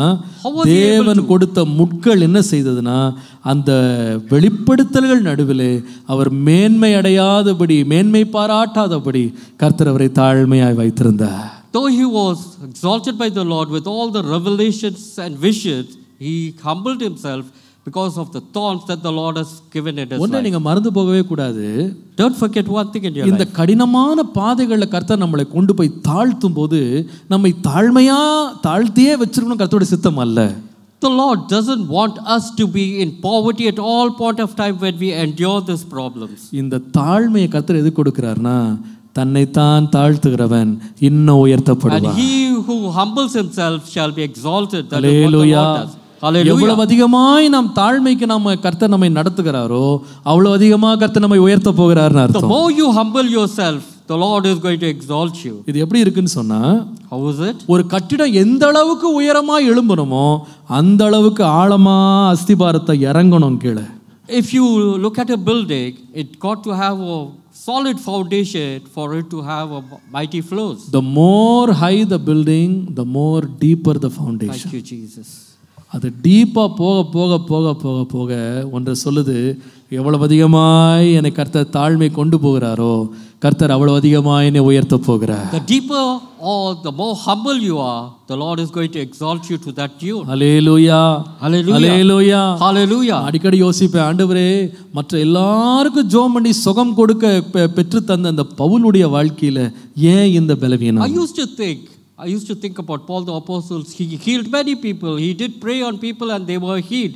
Why was this allowed in his life? அவர் அவர் ஜோம் பண்ணா பிசாசுகள் வெளியே போனது And when he prayed, the devils flee மந்திரவாதிகள் எதிர்த்து நிற்க முடியவில்லை and uh, the wizards were not able to stand in front of him. எல்லாருக்கும் முன்பாக அவர் ஒரு ஜெய வீரனாய் And தோன்றினார் he was victorious in his life. ஆனா அவர் தன்னை பற்றி சொல்லும் பொழுது But when he talks about அந்த முள் சாத்தானனை குட்டும் சாத்தானுடைய தூதனா இருந்ததுன்னு சொல்றாரு and he says, The thorn which was given into my uh, body is a messenger of Satan. எல்லாருடைய வாழ்க்கைக்கும் ஒரு ஆசீர்வாதமா இருந்த ஒரு மனுஷன் தன்னுடைய வாழ்க்கையிலிருந்து ஒரு முள்ளை எடுக்க முடியவில்லை He was a blessing unto many in their lives, but he was not able to remove the thorn from his flesh. கர்த்தர் அதை வைத்திருந்தார் The Lord had permitted that. ஏன் தெரியுமா கர்த்தர் அவனை இன்னும் மேன்மைப்படுத்தும்படியாக The Lord wanted to exalt him more. அலேலூயா Hallelujah. நம்ம ஆண்டவர்கிட்ட சொல்லணும் ஆண்டவரே எனக்கு கொடுத்த முட்கள் என்னை அழிப்பதற்காக அல்ல என்னை உயர்த்துவதற்காக நீர் என்னை தாழ்த்தும்படி வைத்திருக்கிற முட்களுக்காக உமக்கு நன்றி We got ஆண்டவரே to thank the Lord for the thorns that He has given in our flesh, that we humble ourselves so that He might be able to exalt you. கர்த்தர் நம்மை அந்த பாதையில எதற்காய் கொண்டு போகிறார் Why does He take you through this path? அவர் நம்முடைய உள்ளத்தை அவருடைய ஆசீர்வாதத்துக்கு ஆயத்தப்படுத்தும்படி கர்த்தர் நம்மை The தாழ்த்து Lord wants to stabilize our heart that He might be able to lead us. ஆகவே தான் தேவனுக்கு பிரியமானது என்னன்னு சொன்னா உலகம் வந்து வெளியில இருக்க தோற்றத்தை பார்க்கும் கர்த்தரோ இருதயத்தை பார்க்கிறார் The world looks into the outside, whereas the Lord sees your heart. நம்முடைய நம்முடைய மேன்மை எவ்வளோ அப்படின்றத உலகம் எப்படி பார்க்குதுன்னு சொன்னா வெளி தோற்றத்தில் நம்ம எவ்வளோ பிரகாசமா இருக்கிறோமோ நம்ம அவ்வளோ பெரியவர்களாய் உலகம் The பார்க்கும் world looks us outwardly and it uh, evaluates our position. நம்முடைய தேவன் முகத்தை பார்த்து ஏமாறுகிறவர் அல்ல Our Lord doesn't look into our face, உலகம் பார்க்காத உள்ளத்தை கர்த்தர் பார்க்கிறார் but the Lord sees into our heart. உள்ளத்தை பார்க்கிறார் The Lord sees our heart. உள்ளத்துல மேட்டிமை எழும்பாதபடி கர்த்தர் நம்மேல் கண்ணும் கருத்துமாய் The Lord sees that that we bec- we do not become proud in our life. நம்ம வாழ்க்கை கொஞ்சம் திரும்பி பார்த்தீங்கன்னா அநேக வேளையில நம்ம தாழ்மையா இருப்பதற்கு காரணம் என்ன நம்ம வாழ்க்கையில வாங்கின அடி தான் Why are we humble in our lives?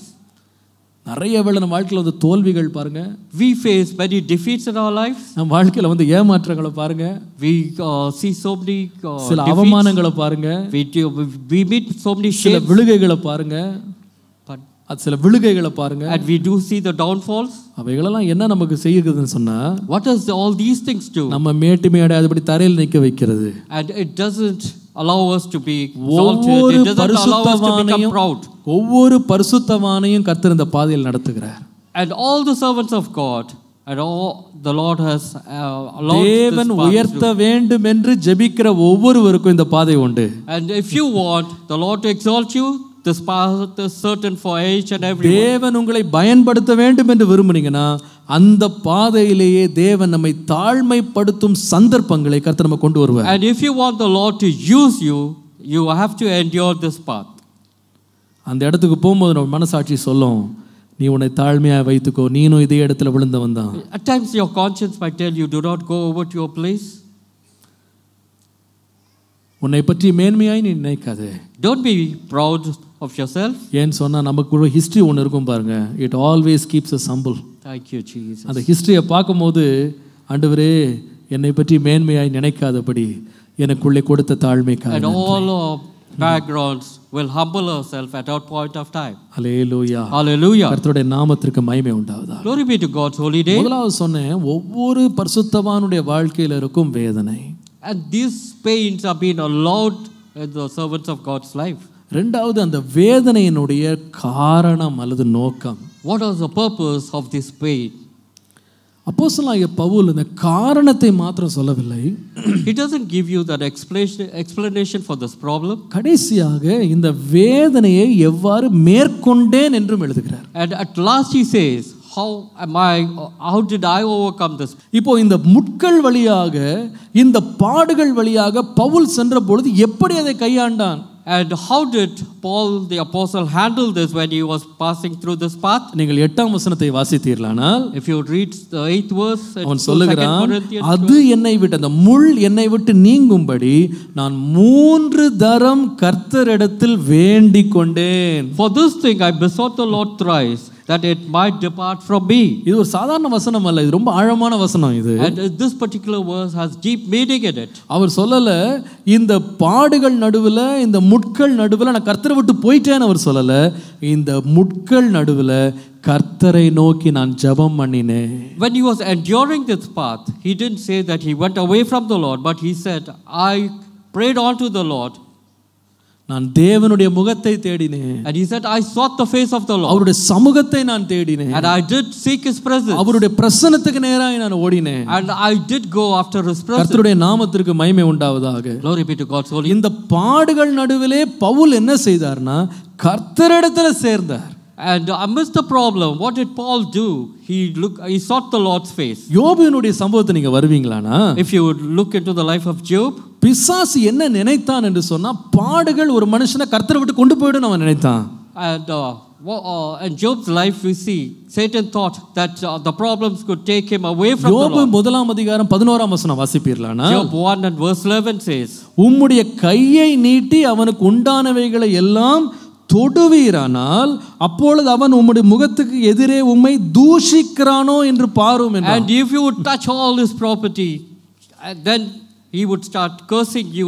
That is what the Satan. பிசாசுடைய எண்ணம் என்ன What's the mind of Satan? ஒரு தேவனுடைய பிள்ளை நீதிமான் துன்பப்படும் போது அவன் என்ன செஞ்சிருவான் And a righteous man, what does Satan think? A righteous man, when he is uh, sent through problems, அவன் என்ன செய்வான் what will he do? ஆ? பிசாசு நினைக்கிறான் அவன் தூஷிப்பான் And he would say that he will blaspheme him. மனைவி சொல்றா பாருங்க நீ இன்னும் இன்னும் உத்தமத்துல உறுதியா உட்கார்ந்திருக்க தேவனை தூஷித்து Even, ஜீவனை விடும் even Job's wife said, Curse God and give up your ghost. அப்போ ஒரு உலக மனுஷன் தன்னுடைய பிரச்சனை எப்படி கையாளுறான்னு சொன்னா அவன் வந்து பிரச்சனை வரும்போது அவன் தேவன் அண்டை சேர்றதில்ல அவன் தேவனை விட்டு தூரமா போறதுக்கு வழியை தேடுறான் In this world, we see a lot of people during the problem times, they go away from the Lord. சில பேர் இதனால தான் சொல்றதை பார்த்துருக்கேன் நான் இவ்வளவு தூரம் கர்த்தரை தேடி கர்த்தர் எனக்கு என்ன செஞ்சாரு கர்த்தர் that தீமை தானே கொடுத்தாரு இனிமேல் கர்த்தரே நான் தேட போறது இல்ல That is what, you know, at times we do at, uh, where is God? I sought the Lord, and is this what the Lord is giving me? கர்த்தரை தேடி தேடி என்னங்க பிரயோஜனம் What is that I have received after searching and seeking ஒரே God? முள்ளும் குறுக்குமா தான் இருக்கு வாழ்க்கை And it is only full of thorns. சில பேர் இப்படி சொல்றது ரொம்ப ஜெபம் பண்ணாலே ப்ராப்ளம் ரொம்ப ஜாஸ்தி வருது பாஸ்ட் அதனால ஜெபமே பண்றது இல்லை நான் Most of us do at, uh, the more closer you get to the Lord, there are problems. அதனால That is why I கர்த்தரண்டே don't நம்ம pray. சேரக்கூடாது Thank you, Lord. ஆ, ஆனா யோபு எப்படி பண்ணாருன்னா You know what did Job say? ஓ எனக்கு அதிகமான துன்பங்கள் வருது I do have problems in my life. நான் பொன்னை போல என்னை போட்டு வறுத்தெடுக்கிறார் ஆண்டவர் I have been put into the furnace like gold. ஆனா நான் என்ன செய்வேன்னா But what do I do? கர்த்தர் கொடுத்தார் கர்த்தர் எடுத்தார் கர்த்தருக்கே Thank you, Lord. What did uh, Job say? God gave and God took it away. அவன் இன்னும். தன்னுடைய உத்தமத்தில் உறுதியா இருந்தான் And he was steadfast in his righteousness. தன்னுடைய வாயினால் அவன் பாவம் செய்யவில்லை And he did not commit sin. தேவனை. இன்னும் நெருங்கி பற்றி கொண்டான் And he got closer to the Lord. தேவனை இன்னும் தேடினான் And he did sought the Lord more. அப்போஸ்தலனாகிய பவுலே Paul the apostle, இந்த முள்ளு நடுவில் என்னப்பா நீ பண்ண among these pricks, what did you do? சொல்லுவாரு நான் மூன்று முறை தேவனை நோக்கி வேண்டுதல் செய்தேன்." Thrice a day I did sought the Lord for this thorns. அநேக வேளை இந்த முட்கள் பாருங்க நம்மை தேவனை விட்டு விலகிறதுக்கு நம்மை சோதிக்கும் These thoughts or these pricks, you will be given into your flesh till you leave the Lord and go away. யோனா நான்காம் அதிகாரம் எட்டாம் வசனத்தை வாசிப்பீர்களானா If you would read Jonah 4 and 8, யோனாவுடைய வாழ்க்கையில ஏற்கனவே ஒரு பெரிய எரிச்சல் அவனுக்கு இருந்தது Jonah's life there was, he was irritated in his life. அது காரணம் என்னன்னா அவன் எதிர்பார்த்தான் இந்த நினிவேயின் மக்கள் எப்படியாவது கர்த்தர் அழிச்சிருவார்னு எதிர்பார்த்தான் He thought the Lord will destroy the people of Nineveh. ஆனால் கர்த்தர் பாருங்க ரொம்ப மனம் உருக்கமுள்ளவர் இரக்கமுள்ளவர் அவர் வந்து மன்னிக்கிறதுல தயவு பெருத்தவர் எல்லாரையும் மன்னிச்சு விட்டார் But the Lord is Lord of compassion. He forgave all the sins of இந்த people of Nineveh. இஸ்ரவேல் ஜனங்களுடைய பரம எதிரிகளாகி நினிவேயின் மக்கள் சாகிறத பார்க்கணும்னு இருக்கிறவன் கண்ணு முன்னாடி ஆண்டவங்கள வாழ வைக்கிறாரு And Jonah wanted to see the destruction of the people of Nineveh, but the Lord protected them. அதிலே அவனுக்கு ரொம்ப எரிச்சல் ஏற்கனவே And he got irritated to the core. ஆண்டவர் கொஞ்ச நேரம் ஒரு கூல் பண்ற மாதிரி ஒரு ஆமணக்கு செடி அவனுக்கு மேல வளர விட்டார் And he was asked to rest under a, uh, under a gourd tree. அந்த கோல்ட் மேல வளர்ந்து வருகிறது This plant was growing அவன் ரொம்ப ரொம்ப இளைப்பாரிக்கிட்டு இருக்கான் and he was taking rest. நல்ல ராத்திரி தூங்கி எழும்புனா And uh, you know, he did sleep that night. ராத்திரியே ஆண்டு இருந்த செடியை காலி பண்ணிட்டாரு The Lord destroyed that plant by the காத்து night. வந்து செடி அடிச்சிட்டு போயிடுச்சு The wind did destroy it. காலையில எழும்புனா வேற ஒண்ணும் இல்லைங்க இ- மின்னல் இடியெல்லாம் உழல வெயில் அவன் மேல பட்டுச்சான் And morning, when he got up, he was under the scorching sun. அது என்ன நெ- எரிகிற நெருப்புல எண்ணெயை ஊத்துற மாதிரி இது. எழும்புறான் பாருங்க வெயில் அடிச்சது அவனுக்கு வந்த கோபம் எரிச்சல் பத்திக்கிட்டு எரியுது அவனுக்கு And he thought in his life it was like adding fuel to the fire, and he was irritated to the core. அவன் மோ- என்ன சொல்லுகிறான் தெரியுமா வெயில் பட்டதுக்கு அவன் சொன்ன வார்த்தையை பார்த்தீங்கன்னா You know, what does he say? அவன் சொல்லுகிறான் நான் உயிரோடு இருக்கிறதை பார்க்கிலும் ஏப்பா என்னப்பா உனக்கு நடந்துச்சு வேற ஒண்ணும் இல்லைங்க வெயில் தாங்க பட்டுச்சு What does he say? Because of this heat, he says it is better that I die rather than living. நான் வாழ்றதோட செத்து போறதே Yeah, it is better I die rather than living. சில பேருக்கு இப்படி தான் ஒரு சின்ன முள்ளு குத்துனா போதும் நான் சாக போறேன் And at times, even we in our lives, you know, when we are pricked by a thorn, we say, you know, I want to die. ஒரு சின்ன வார்த்தை சொல்லிடக்கூடாதுங்க You நான் எதுக்கு தான் உயிரோடு இருக்கிறேனே தெரியல கர்த்தர் என்னையே எடுக்க மாட்டேங்கிறார் And even a small word might disturb you, you will say, "Ah, You want to die. ஊரே கூட்டி விடுவார்கள் And you bring the whole city together. ஒரு சின்ன வெயில் உடனே நான் சாகணும் அந்த யூதாஸ் இஸ்காரியத்தை பாருங்க அவன் ஒரு தவறு செய்தான் உண்மைதான் You see the life of Judas Iscariot? ஆனால் கர்த்தட்ட அவன் போல He didn't go to law. அவன் மனசாட்சியை வாதிச்ச உடனே ஒரு துண்டு கயிறை தேடிட்டான் உடனே He was convicted in his heart. அவன் பிரச்சனைக்கு முடிவாங்கன்னு நினைச்சான் And he did hang himself. ஆனால் பவுல் என்ன செய்தார் தெரியுமா Whereas what, what did Paul do in his life? முள்ளு குத்துதுங்க There's a thought pricking me. சாத்தானுடைய தூதன் குட்டுறான் the messenger of Satan is buffeting me. ஆனா என்ன செய்தான் தெரியுமா You know what? Paul did? கர்த்தருடைய முகத்தை தேடினான் He sought the face of the Lord. கர்த்தரை நோக்கி விண்ணப்பம் செய்தான் And he looked unto the Lord. அலேலூயா Hallelujah. ஒரு சம்பவம் என் உள்ளத்தை மிக அதிக There அதிகமாய் is one தொட்டது incident which touched my heart. அது சிம்சோன் என்கிற மனுஷனுடைய வாழ்க்கை This is about the life of Samson. Samson ஒரு பெரிய பலசாலி And he was a mighty warrior. கர்த்தரால் வல்லமையாய் பயன்படுத்தப்பட்ட ஒரு And மனுஷன் he was used mightily by the Lord. அவனுடைய பேரை கேட்டாலே பெலிஸ்தர்கள் நடுங்கினார்கள் The Philistines used to tremble on hearing Samson's name. எல்லா இஸ்ரவேல் மக்களும் அவன் மேல் நம்பிக்கை வைத்திருந்தார்கள் The people of Israelites trusted him. அவனை யாரும் மேற்கொள்ள முடியவில்லை And though people, no one was able to overcome ஒரு him. வல்லமையான ஒரு நியாயாதிபதியா அவன் உலா வருகிறான் And he was a righteous judge. ஒரு பெரிய நியாயாதிபதி And he was a righteous judge. ஆனா இவ்வளவு பெரிய பலசாலி வாழ்க்கையில் ஒரு பலவீனம் இருந்தது there was a problem in his life too. அவனுடைய உறவுகளை அவன் சரியாய் கட்ட முடியவில்லை And he was not able to bind his relations. ஒரு. பெண்ணை திருமணம் செய்கிறான் He got married to a girl. அவன் போய்விட்டு திரும்ப வர்றதுக்குள்ள And even as he was returning, வேதம் சொல்லுகிறது அவன் அந்த பெண்ணினுடைய தகப்பனார் இவன் இல்லாமல் வேறு ஒருவனுக்கு அந்த பெண்ணை திருமணம் செய்து கொடுத்து விடுகிறார் uh, the father in law, the intended father in law, got this girl married to another person. பயங்கரமான ஆத்திரம் வருகிறது And he became ferocious. பெலிஸ்தியருடைய அந்த அஹ், வயல் நிலங்களை எல்லாம் கொளுத்தி விடுகிறான் And he burnt the fields of the Philistines. பின்பு ஒரு தாடை கழுதை காய்ந்த தாடை எலும்பை பச்சை தாடை எலும்பை எடுக்கிறான் And he took the jawbone of a donkey அடித்து ஆயிரம் பேரை கொன்று போட்டான் and he killed thousands of people with that. ஒரு பெரிய வெற்றி தான் And it was a mighty victory. அதுல முடிவில் பார்த்தீங்கன்னா ஆயிரம் பேருக்கு மேல ஜெயம் எடுத்துட்டு இவன் நிலைமை என்னன்னு பார்த்தீங்கன்னா தண்ணி இல்லாம தாகத்துல தவிக்கிறான் And after having a victorious life over thousands of people, he was suffering from thirst. நீங்கள் நியாயாதிபதிகளின் புஸ்தகம் Judges. பதினைந்தாம் அதிகாரம் பதினெட்டாம் வசனம் வாசிப்பீர்களான Churches 15 and verse 18. அவன் சொல்லுகிறான் ஆண்டவரே வாசிங்க அந்த வசனத்தை வாசிங்க மிகவும் தாகமடைந்து நோக்கி கூப்பிட்டு கர்த்தரை நோக்கி கூப்பிட்டு தேவரீர் உமது அடியேன் கையினால். இந்த பெரிய ரட்சிப்பை கட்டளையிட்டு இருக்க இப்பொழுது நான் தாகத்தினால் செத்து கவனிங்க பாருங்க ஒரு பக்கம் பெரிய ரட்சிப்பை கர்த்தர் கொடுக்கிறாரு There was a great revival that the Lord gives him. இன்னொரு பக்கம் அவன் பிரச்சனை என்னன்னா வாசிங்க இப்பொழுதும் நான் தாகத்தினால் செத்து தாகத்தினால் செத்து விருத்த சேதனம் இல்லாதவர்கள் கையில் விழ வேண்டுமோ என்றான். அப்பொழுது தேவன் அப்பொழுது தேவன் லேகில் உள்ள பள்ளத்தை பிளக்க பண்ணினார். அதிலிருந்து தண்ணீர் ஓடி வந்தது அதிலிருந்து தண்ணீர் வந்தது ஒரு பக்கம் பாத்தீங்கன்னா பெரிய வெற்றி. And the one side, he has a victorious life. இன்னொரு பக்கம் தாகத்தினால் சாகிற நிலைமை And he was so thirst on the other side. அந்த நேரத்தில் என்ன செய்தான் தெரியுமா What did he do? சிம்சோன் கர்த்தரை நோக்கி ஜெபம் பண்ணான் Samson looked unto the Lord. ஆண்டவரே என் ஜீவனை தப்புவியும் Lord, save my life. எனக்கு உயிரை தாரும் Lord, help me, Lord. எனக்கு வெற்றியை தாரும் Lord, give me victory. எனக்கு வாழ்வை தாரும் Give me life. கர்த்தர் இரக்கம் பாராட்டி அவனுக்கு தண்ணீரை கொடுத்து கர்த்தர் அவனை உயிர் The Lord காப்பாற்றினார் had compassion on him and gave him water and made him to survive. இதே சிம்சோனுடைய வாழ்க்கை தொடருகிறது lives of Samson, if you see further, இன்னொரு பிரச்சனையில போய் மாட்டுகிறான் he gets entangled with another இந்த problem. பெரிய பலசாலி And he was a mighty warrior. ஒரு அழகிய பெண்ணை பார்க்கிறான் He looks at a beautiful lady, அவள் பேர் தெலைலாள் and her name is Delilah. வேதம் சொல்லுகிறது அவளை உளமாற நேசித்தான் And he loved this lady to his, அவள் மேல் மிகுந்த அன்பு வைத்தான் and he loved this uh, lady to the core. அப்போ அந்த அன்பு ஒரு நாள் ஒ- கசந்து போனது And uh, this love betrayed one day. எந்த பெண்ணை இவன் நேசித்தானோ அதே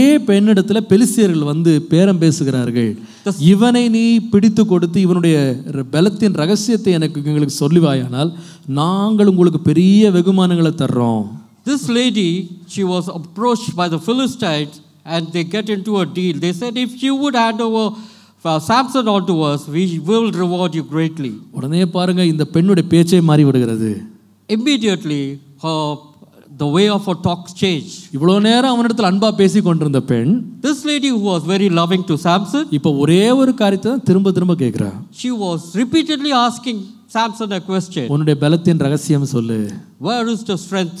உன்னுடைய பலம் எங்க இருக்குன்னு சொல்லு Where is your strength எங்க, lies? இவனுக்கு சரியாமலா உட்காந்துருக்காங்க எல்லாம் இவனுக்கு தெரியும் and uh, so the, Samson knows everything. இவன் ஒரு நாட்டையே நியாயந்திருக்கிற நியாயாதிபதி And he was a judge in that city. இவனோட அனுபவம் கொஞ்சம் அல்ல And he had solid experience. இவன் எத்தனையோ. பேரை பார்த்திருக்கிறான் And he would have come across so many இவனுக்கு. நல்லா தெரியும் இங்க பிரச்சனை இருக்கிறது And he knows that there is a ஆனா problem இந்த ahead of this. பெண்ணை அதிகமாய் நேசிச்சிட்டான் Because he loved this lady, அவனால இந்த பெண்ணை விட முடியல and he was not able to give her up. அவளுடைய பிரச்சனைக்கும் இவன் தீர்வு கொடுக்க முடியல And uh, he was not able to uh, solve the problem of this lady's தன்னுடைய frustration. ஞானத்தை வைத்து எப்படியெல்லாம் கையாள முடியுமோ கையாண்டு பார்க்கறான் The, he tried to evade the problem of this lady, but he was not. எல்லாரையும் எதிர்த்து சென்ற ஒரு ச- சிம்சோன் இந்த ஒரு பெண்ணை எதிர்த்து பேச முடியல பாருங்க He was able to conquer so many people in his life, but he was not able to overcome this lady. நான் யோசித்து பார்த்தேன் ஒரு தாடை எலும்பு எடுத்து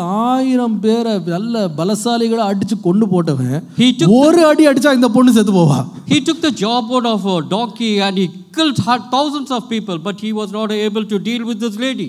ஒரு நிமிஷத்துல அவளை துரத்தி விடலாம் And he could have done if he wanted to uh, ஆனா drive அவள் away this மேல் girl. வைத்த அன்பின் மயக்கத்துல Because of the love he had towards this uh, lady, அவளுக்கு பதிலும் சொல்லாம தன்னுடைய ஞானத்தையும் தன்னுடைய சாமர்த்தியத்தை பயன்படுத்தி அவன் விளையாடி கொண்டே இருக்கிறான் பாருங்க and he was not able to answer her directly, and he was using his wisdom to divert the attention of ஆனால் this ஒரு lady. நாள் But one day- அவனுக்கே விரக்தி ஆகிவிட்டது And he got vexed one day. அந்த விரக்தியில என்ன சொன்னான்னு சொன்னா You know what did he say? in his தன்னுடைய vexation? பலத்தினுடைய ரகசியத்தை அவன் சொன்னான் He just ex- exposed the secret of the strength. எனக்கு ரொம்ப ஆச்சரியம் என்னன்னு சொன்னா Know, I'm surprised. கொஞ்ச நாட்களுக்கு முன்பாக தன் உயிருக்கு வந்த ஒரு பெரிய ஆபத்து நேரத்துல கர்த்தரை நோக்கி முறையிட்டு பதில் பெற்றான் Samson And when there was a problem in his life, he looked unto the Lord for the answer.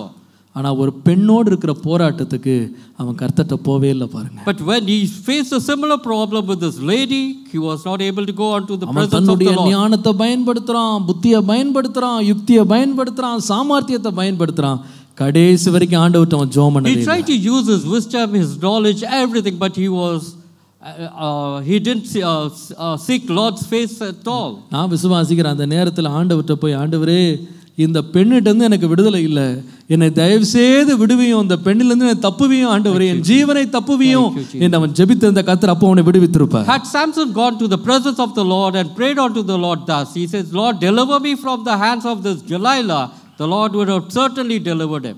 ஆனா எப்போ ஜெபம் பண்ணான் தெரியுமா You know, when he prayed, கண்ணு போயிருச்சுங்க only after he, he became blind, அபிஷேகம் போயிருச்சு he lost his anointing. பிரதிஷ்டை போயிருச்சு And he lost his anointing. ரெண்டு தூண்களுக்கு நடுவுல இருந்து ஜெபம் பண்ணான் And he was tied to the uh, pillars by fetters. ஆண்டவரே என்னை ஒரு முறை பலப்படுத்தும் Lord, remember me this one time. எனக்கு ஆச்சரியம் என்னன்னா அவன் சாகிறதுக்காக ஜெபம் பண்ணாங்க And he wanted to give up his ghost. That is what he prayed. என்ன சாகிறதுக்காக ஜெபம் பண்ணான் He wanted to die. That's why he prayed. அந்த ஜெபத்தையும் கர்த்தர் கேட்டார் The Lord did answer that prayer too. அப்ப நம்முடைய தேவன் யார் தெரியுமா You know, where is our victory? நாம கூப்பிடும் போது செவி கொடுக்கிற தேவன் It is the Lord who gives his ear unto us when we ஆனா call. நம்ம நிறைய வேளையில தேவனை நோக்கி கூப்பிடுறது இல்ல Most of the times we do not seek Lord. ஜெபத்துக்கு போகாம நம்முடைய ஞானத்தை நாம பயன்படுத்துறோம் We use our wisdom and knowledge in, even in our prayers. நான் யோசித்து பார்த்தேன் இந்த கண்ணெல்லாம் இழந்து ரெண்டு தூணுக்கு முன்னால சாகரத்துக்காக ஜெபம் பண்ண சிம்சோன் இந்த தெலேலாளினுடைய பிடியிலிருந்து விடுவிக்கப்படுறதுக்கு தேவனிடத்துல ஜெபம் பண்ணியிருந்தா கர்த்தர் அன்றைக்கு அவனை விடுவிக்க வல்லவராக இருந்தார் The Lord would have delivered him had he prayed unto the Lord to deliver him from the from the Philistines. But whereas he wanted to die, that is why he prayed. நான் சொல்லுவேன் பவுல் தன்னுடைய மிகுதியான போராட்டத்தின் நடுவில் கர்த்தரை தூஷிக்கவும் இல்லை கர்த்தரிடத்துல சேர்றதுக்கு மறக்கவும் இல்லை. அவன் ஒன்றை செய்தான். மூன்று முறை கர்த்தரை நோக்கி நான் செபித்தேன். The apostles did not forget to seek the Lord's face at time of problems, even when he was buffeted by the messenger of Satan. தேவனுடைய பிள்ளைகள் வாழ்க்கையில நெருக்கப்படும் போது ஒரு பாடத்தை படிக்க வேண்டும் When we go- கர்த்தரண்டை நான் சேருவேன் When we go or when we endure the problems, we have to learn one thing that we get nearer to God. இன்னைக்கு நிறைய பேர் ஒரு பிரச்சனை வந்தா உடனே நண்பர்கள் இடத்துல ஓடி விடுவார்கள் Uh, when we endure the problems, we go to our friends and ask for their help. உடனே சொந்த பந்தங்கள்ட்ட ஓடுவார்கள் We go to our relatives for help. தெரிந்தவர்கள் இடத்துல ஓடுவார்கள் We go to the people whom we know. சில பேருக்கு வீட்டில் ஒரு பிரச்சனைனா போதும் பைக்கை ஸ்டார்ட் பண்ண வேண்டியது முறுக்கிட்டு வேகமாக ஓட்ட வேண்டியது And at times, you know, we, uh, uh, we start our bike and then take a wrong ri- ride. ஏன் பிரதர் நீங்க குடிக்கிறீங்க விசுவாசி குடிக்கலாமா ஏன் இப்படி குடிக்கிறீங்கன்னு கேட்டா And if you ask them, why are you doing believers? வீட்டில் போராட்டம் தாங்களா பாஸ்டர் நிம்மதிக்காக குடிக்கிறேன் And there is no peace in the family, Pastor.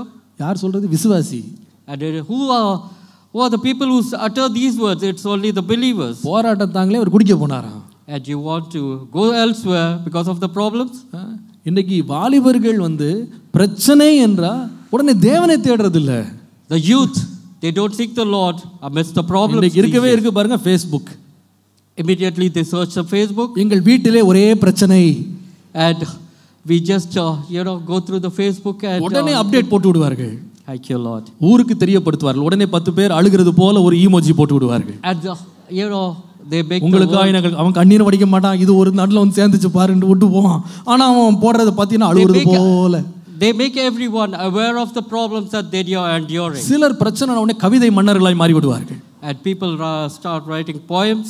அழுகிறதா கதி கவிதையா எழுதி தள்ளி you, Lord. When you endure problems, you become poets. சில பேர் டைரியை பக்கம் பக்கமா எழுதி தள்ளுவார்கள் They write diary and they uh, write uh, many pages இப்போ சிலர் போய் ரூம்ல போய் அடைத்து கொண்டு தனியாய் உட்கார்ந்து கொண்டிருப்பார்கள் and they get themselves secluded. They go into a room and they sit aside. சிலர் அப்படியே இந்த தமிழ்ல இஞ்சி தின்ன குரங்குன்னு அந்த மாதிரி மூக்க தூக்கி வச்சு பேசாம. And some people become very calm. They do not uh, interact with anyone. கோபமா இருக்கேன் Thank you, Lord. இந்த பிரச்சனை இப்படி தான் நான் எதிர்கொள்ள வேண்டும் And how am I to uh, face this problem? நான் சில ஸ்கூல்ஸுக்கு போவேன் அங்க வீட்ல ஒரு பிரச்சனையோட பையன் வந்து ஒரு பொண்ணு வந்திருப்பா Come to the school with a problem. நிறைய பேர் அப்படி சந்திச்சிருக்கேன் போட்டீங்கன்னா கிளாஸுக்கு வந்துட்டு பிளேடு எடுத்து அப்படியே கட கட கட கடன்னு கிழித்து கொண்டு ரத்த காயத்தோடு வந்து நிறுத்துவார்கள் And I see a lot of students come to the school, you know, and they, they you know, cu- cut the finger or the, the ha- flesh with the blades.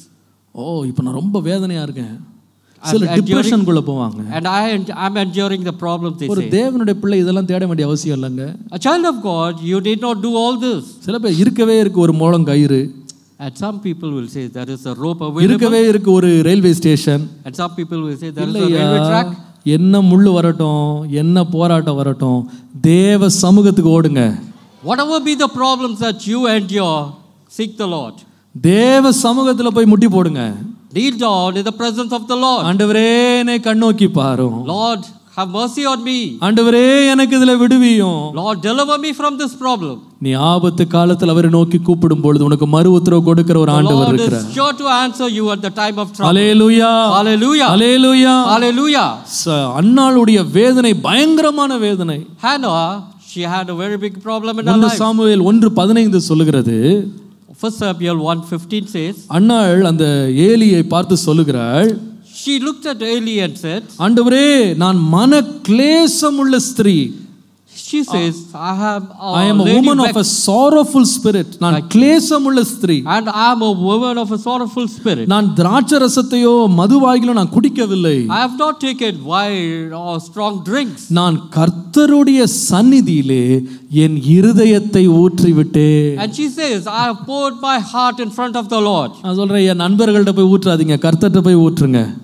Don't pour your heart to your friends, but to the Lord. கர்த்தர்கிட்ட ஊற்றி பாருங்க Pour your heart to the Lord. கர்த்தர் காயங்களை ஆற்ற உண்மை The உள்ளவராய் Lord is இருக்கிறார் able to heal your wounds. கர்த்தர் அங்கே பதில் கொடுக்க உண்மை உள்ளவராய் Lord is இருக்கிறார் able to answer you.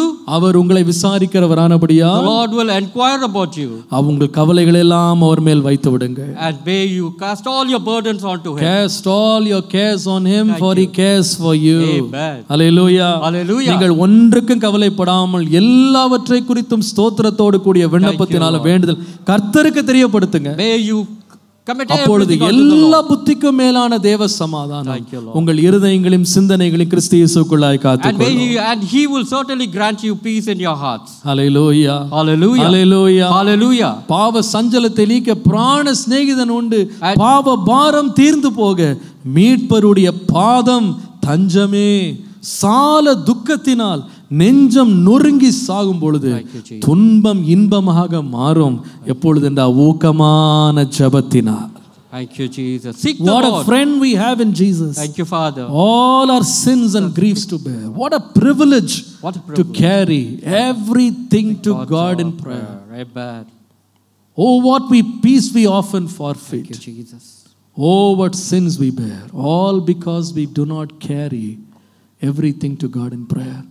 தேவனிடத்திலே நாம் அதை கொண்டு சென்றிருப்போமானால் அவருடைய பதில்கள் ஆச்சரியமான பதில் Had we taken all our problems to the Lord, He would have certainly answered your prayers. ஒரு பரிசுத்தமானோட வாழ்க்கையில முள் வருங்க There will be a thorn allowed the uh, life of a servant துன்பங்கள். வரும் Problems will come. பிரச்சனைகள் வரும் The problems will தேவன் அதை arise. காரணத்தோட தான் அனுப்புகிறாரு The Lord does permit all this. ஆனால் தேவன் துன்பத்தை அனுப்பினாலும் Though He gives you trials and தேவன் நம்மை புடமிட்டாலும் though He tries and tribulations, அதை விட்டு தூரமாய் நிற்கிறவர் அல்ல and He is not away from your problem. அவர் அதன் நடுவிலேயே நம்மோடு நிற்கிறார் Amidst your problem, He is there with you. எத்தனை பேர் விசுவாசிக்கிறீங்க Thank you, காலையில Jesus. How many of you hallelujah believe? Hallelujah. Hallelujah Hallelujah. யோசேப்பின் வாழ்க்கையை கவனித்து பாருங்கள் If you look into the life of Joseph, அவனுடைய வாழ்க்கையில எப்பொழுதெல்லாம் துன்பம் அனுபவித்தானோ whenever he endured problem, அவனுடைய வாழ்க்கையில தனிமை and there was loneliness, அவனுடைய வாழ்க்கையில சோதனை and there was trials, பொய்யான பழி and there was false அவனுடைய accusation, வாழ்க்கையில நிர்வாணம் and he was naked at times, அவனுடைய வாழ்க்கையில சிறைச்சாலை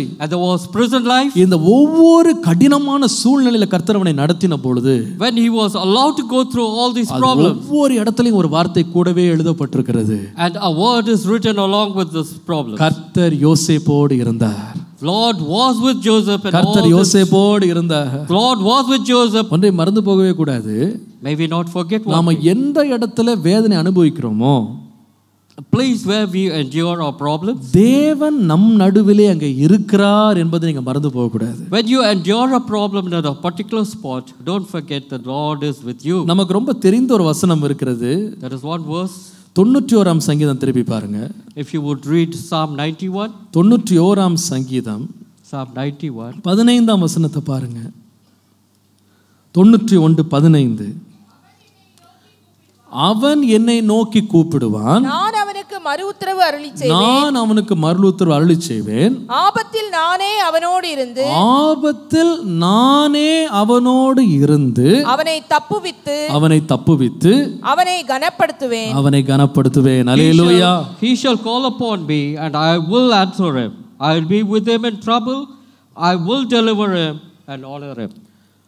ஆண்டவர் நம்முடைய துன்பத்தின் நடுவிலே நம்மை விட்டு விலகுகிறவர் அல்ல ஆபத்திலே நம்மோடு கூட இருக்கிற ஒரு தேவன் நமக்கு இருக்கிறார் At the time of trouble, the Lord doesn't desert us, He is with us.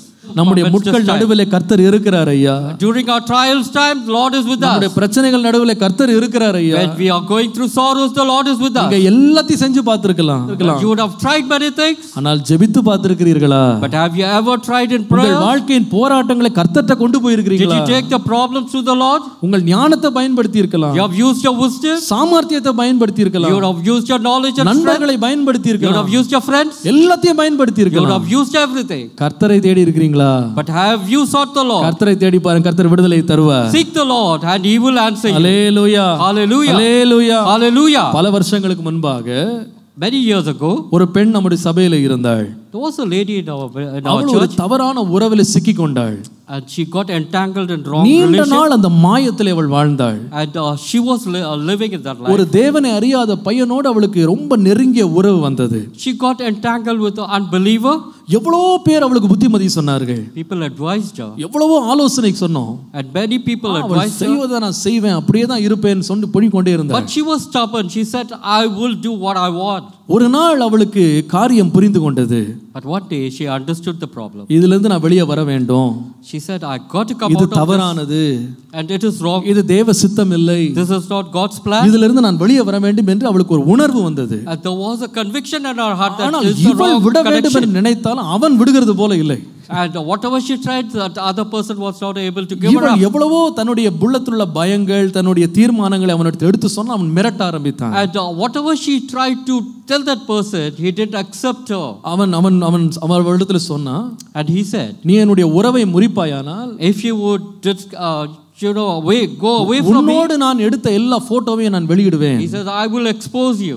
உன்னை திருமணமே செய்ய விடாதபடி உன்னை தடுப்பேன் And, I, and uh, he said that I will expect you to that extent that you பயந்து will not நடுங்கி get போனாள் married. பயந்து நடுங்கி போனாள் And she was trembling. பயங்கரமான மன மன உளைச்சலுக்குள்ளே போனாள் And she was going through, uh, you know, a lot of அப்பொழுது worries. ஆலோசனைக்காக வந்தாள் She came for a counseling. நான் சொன்னேன் I said, மா எல்லாத்தையும் நீ முயற்சி பண்ணியிருக்க She, you- I told her, You have tried all your நீ ways. பேசி பார்த்திருக்க You have spoken to நீ her. என்னென்னமோ செஞ்சு பார்த்திருக்க You have tried all the நீ methods. இதற்காக தேவ சமூகத்துல நீ ஜெபம் பண்ணியா But did you seek the face of the Lord for கர்த்தருடைய this problem? ஒத்தாசை நீ தேடினியா Have, did you see, uh, seek Lord's help? கர்த்தர் உன்னை விடுவிக்க வேண்டும் என்று கர்த்தருடைய சமூகத்துக்கு நீ போனியா Did you seek the Lord's face for this problem to be solved? அப்ப அவ சொன்னா நான் இது வரைக்கும் செஞ்சதில்லை நான் இனிமேல் நான் செய்கிறேன் She said, Thus far I didn't do. But அவள் hereafter எல்லா I will." முயற்சிகளையும் கைவிட்டாள் She gave up all the other ways.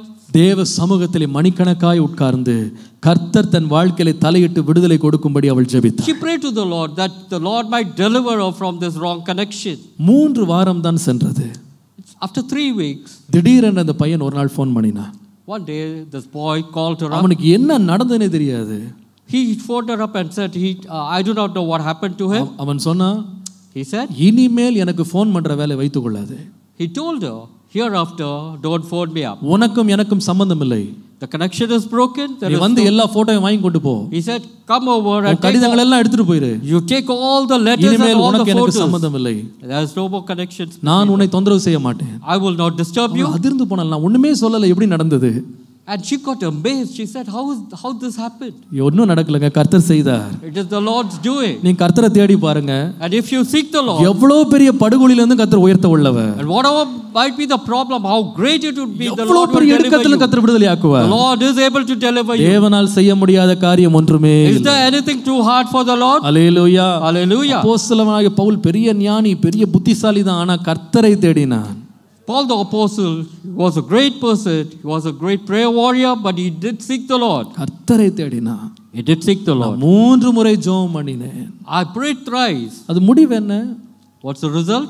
கர்த்தர் கொடுத்த பதில் என்ன And what is the reply the Lord gave? ஆண்டவர் சொல்லுகிறார் he says, என் கிருபை உனக்கு போதும் The Lord says, My grace is sufficient for thee, பலவீனத்திலே என் பலம் பூரணமாய் for விளங்கும். my strength is made perfect in weakness. ஆச்சரியமா இருக்கிறது இது It's quite amazing. தேவனுடைய அவுட்ஸ்டாண்டிங் ஜெனராசிட்டி இங்க வெளிப்படுகிறது கர்த்தருடைய மகிமையான ஒரு பதிலை இங்க நம்ம பார்க்கிறோம் What is the reply that the Lord gives you? நான் அடிக்கடி இந்த வசனத்தோட நான் போராடி இருக்கேன் And I have uh, fought with this verse many times. அவன் கேட்டது இந்த முள்ளை தானே எடுக்க சொல்லி கேட்டான் He wanted the thorn to be removed from his flesh. இது ஒரு சின்ன காரியம் தானே இதை செஞ்சிருக்கலாமே It நீங்க was a small, uh, you know, healing that was required. அவன் கேட்டதை செய்யாம நான் கிருபையை தர்றேன்னு சொன்னா என்ன அர்த்தம் And he asked for a healing, but the Lord says, I'll give you my grace.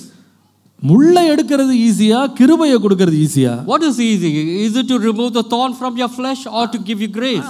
கேட்ட முள்ள நீர் எடுத்திருக்கலாமே If only the Lord has removed the ஏன் thorn இந்த from his இன்னும் கிருபை தர்றேன்னு சொல்றீரு But whereas the Lord says, My grace is sufficient. ஆண்டவர் என்னோடு பேசினாரு The Lord spoke to me. நீ வேண்டிக் கொள்வதற்கும் நினைப்பதற்கு அதிகமாகவே தான் நான் செய்வேன் He says, More than you ask or think of, அப்ப நான் ஆண்டவர். கேட்ட என்ன ஆண்டவரே இதுல அதிகமா செஞ்சிருக்கீங்க What is that, Lord, you did mighty? ஆண்டவர் உடனே ஒரு வசனத்தை எனக்கு ஞாபகப்படுத்தினார் The Lord brought to my remembrance a word. சங்கீதம் அறுபத்தி மூன்று மூன்று சொல்லுகிறது Psalm 63 3 says, ஜீவனை பார்க்கிலும் என் கிருபை மேலானது More than the life, my grace is mightier. Hallelujah Hallelujah. more than my life your loving kindness is great oh lord hallelujah Hallelujah. அப்பா நீ கேட்டது முள்ள எடுக்கணும்னு சொல்லி You wanted the thorn to be removed. உன் ஜீவன்ல உள்ள பிரச்சனை எடுக்கணும்னு சொன்னேன் You wanted the problems to be solved in your life. அந்த ஜீவனை பார்க்கிலும் கிருபையை நான் உனக்கு கொடுக்கிறேன்ப்பா But the grace is mightier.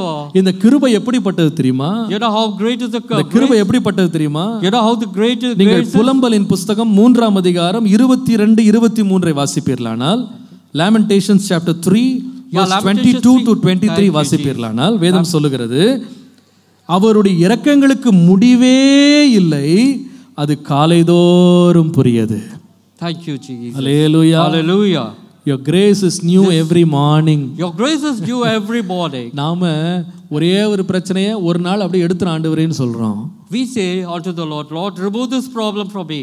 ஒரு நாள்ல இது எடுத்துற ஆண்டவரே Lord, remove this problem. ஆண்டு சொல்றாரு இந்த ஒரு பிரச்சனை இன்னைக்கு எடுத்துருவேன் நாளைக்கு வர்ற பிரச்சனை என்ன பண்ணுவேன் I might remove this problem today, but what about the problem that is going to come next day? ஆனா நான் உனக்கு கொடுக்கிற பதில் எப்படிப்பட்டதுன்னா is- காலைதோறும் புதிய கிருபையை நான் உனக்கு Thank தருகிறேன் you, Lord. But the Lord says, every day I shall give you mercies. Your Hallelujah. mercies are due every புதிய. கிருபை ஒவ்வொரு நாளும் நான் தரேன் That you, the mercies are நான் every morning. சொல்றேங்க ஆண்டவரை நீங்கள் அண்டிக் கொண்டு அவரை தேடும் பொழுது நம்முடைய பிரச்சனைகள் நடுவிலே நாம் கேட்பதற்கு அதிகமாகவே பதில் செய்கிற ஒரு தேவன் இருக்கிறார். And if you seek the Lord, Amidst your problems, the Lord is able to do great and mighty things in your life. நான் உங்கள்கிட்ட கேட்குறேன் ஒரு காரியத்தை உடனே பிரச்சனையை முடிக்கிறது பெரிய சாதனையா?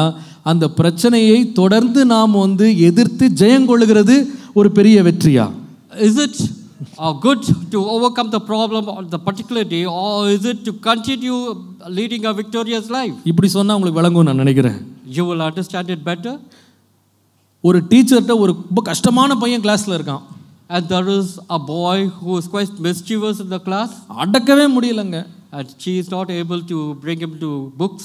ஒரு டீச்சர் என்ன பண்றாங்கன்னா Our teacher tells him, தன்னுடைய அதிகாரத்தை பயன்படுத்தி one teacher, she uses her power, உடனே அந்த பையனை கிளாஸ் விட்டு வெளியே துரத்துறாங்க she expels him from the class. பிரச்சனை முடிந்து விட்டதுன்னு சொல்றாங்க And she says, the problem is solved. அதே இன்னொரு டீச்சர் இருக்காங்க And there's another teacher, இந்த அடக்க முடியாத பையனை அடக்குவதற்கு அவர்கள் முறையை கண்டுபிடித்து அவனோடு சகித்து அவனை கிளாஸ்லயே வைத்து வெற்றியோடு அவனை முடிய பண்றாங்க and this teacher uses him in the class itself and uh, makes him a victorious boy.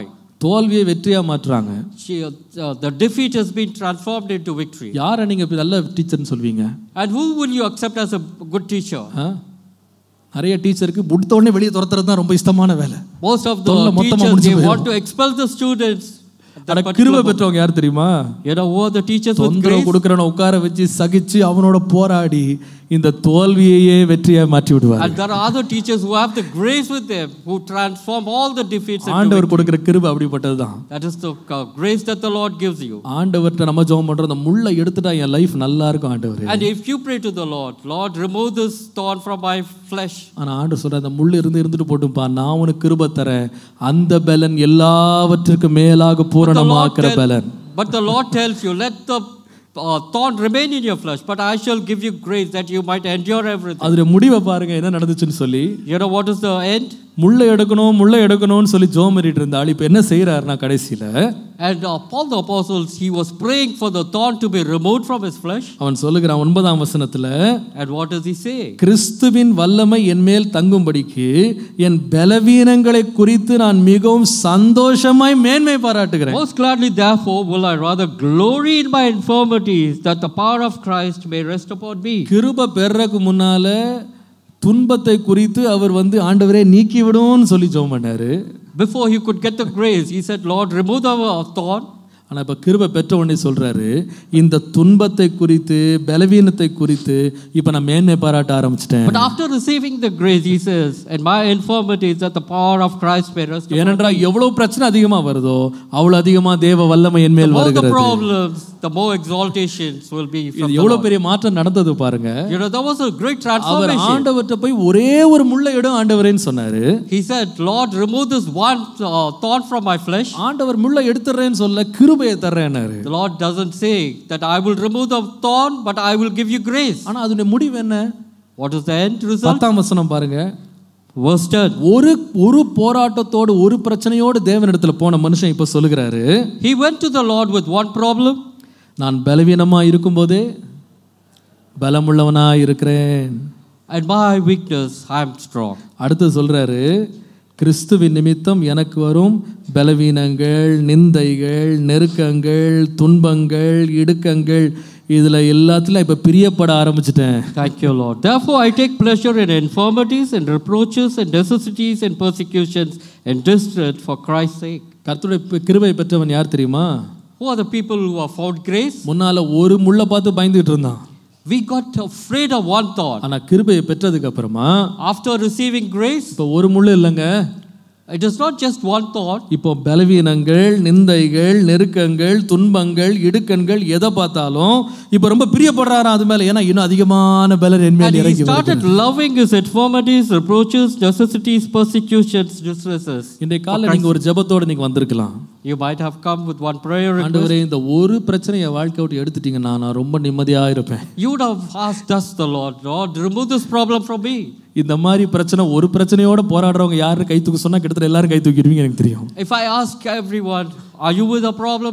Everyone would lift, their, lift your up. ஆண்டவர் சொல்றாரு என்னிடத்துல வேண்டிக் கொள்ளும் பொழுது But when you pray to me, அந்த ஒரு பிரச்சனையை நான் எடுக்க மாட்டேன்ப்பா I would not remove this one problem, அதை எல்லாம் மேற்கொள்ள பண்ற கிருபையை நான் தர்றேன் but I will give you grace to overcome all the other problems நீ. இன்னைக்கு ஒரு பிரச்சனையை பார்த்து நடுங்கி பயந்துகிட்டு இருக்க You would have come with one problem and fearing that. என் கிருபையை நீ பெற்றுட்டேன்னு வச்சுக்கோ If you receive my grace, ஓ அதுக்கப்புறமா துன்பம் இடுக்கம் த- பிரச்சனை அவமானம் எது வந்தாலும் நீ தாங்கிறதுக்கு நான் உனக்கு பலன் தருவேன் after, after receiving my grace, you will be able to endure all the other problems in your life இப்போ too. உங்களுக்கு சொல்லுங்க ஒரு பிரச்சனைக்கு தீர்வு வந்தா போதுமா வரப்போகிற எல்லா பிரச்சனைக்கும் தீர்வு வேணுமா Now you just answer me whether you want your uh, what do you call uh, one solution one solution are you or want one. Stop solution Thank you, Jesus. என்ன வேணும் one solution or one stop solution Thank you, Jesus.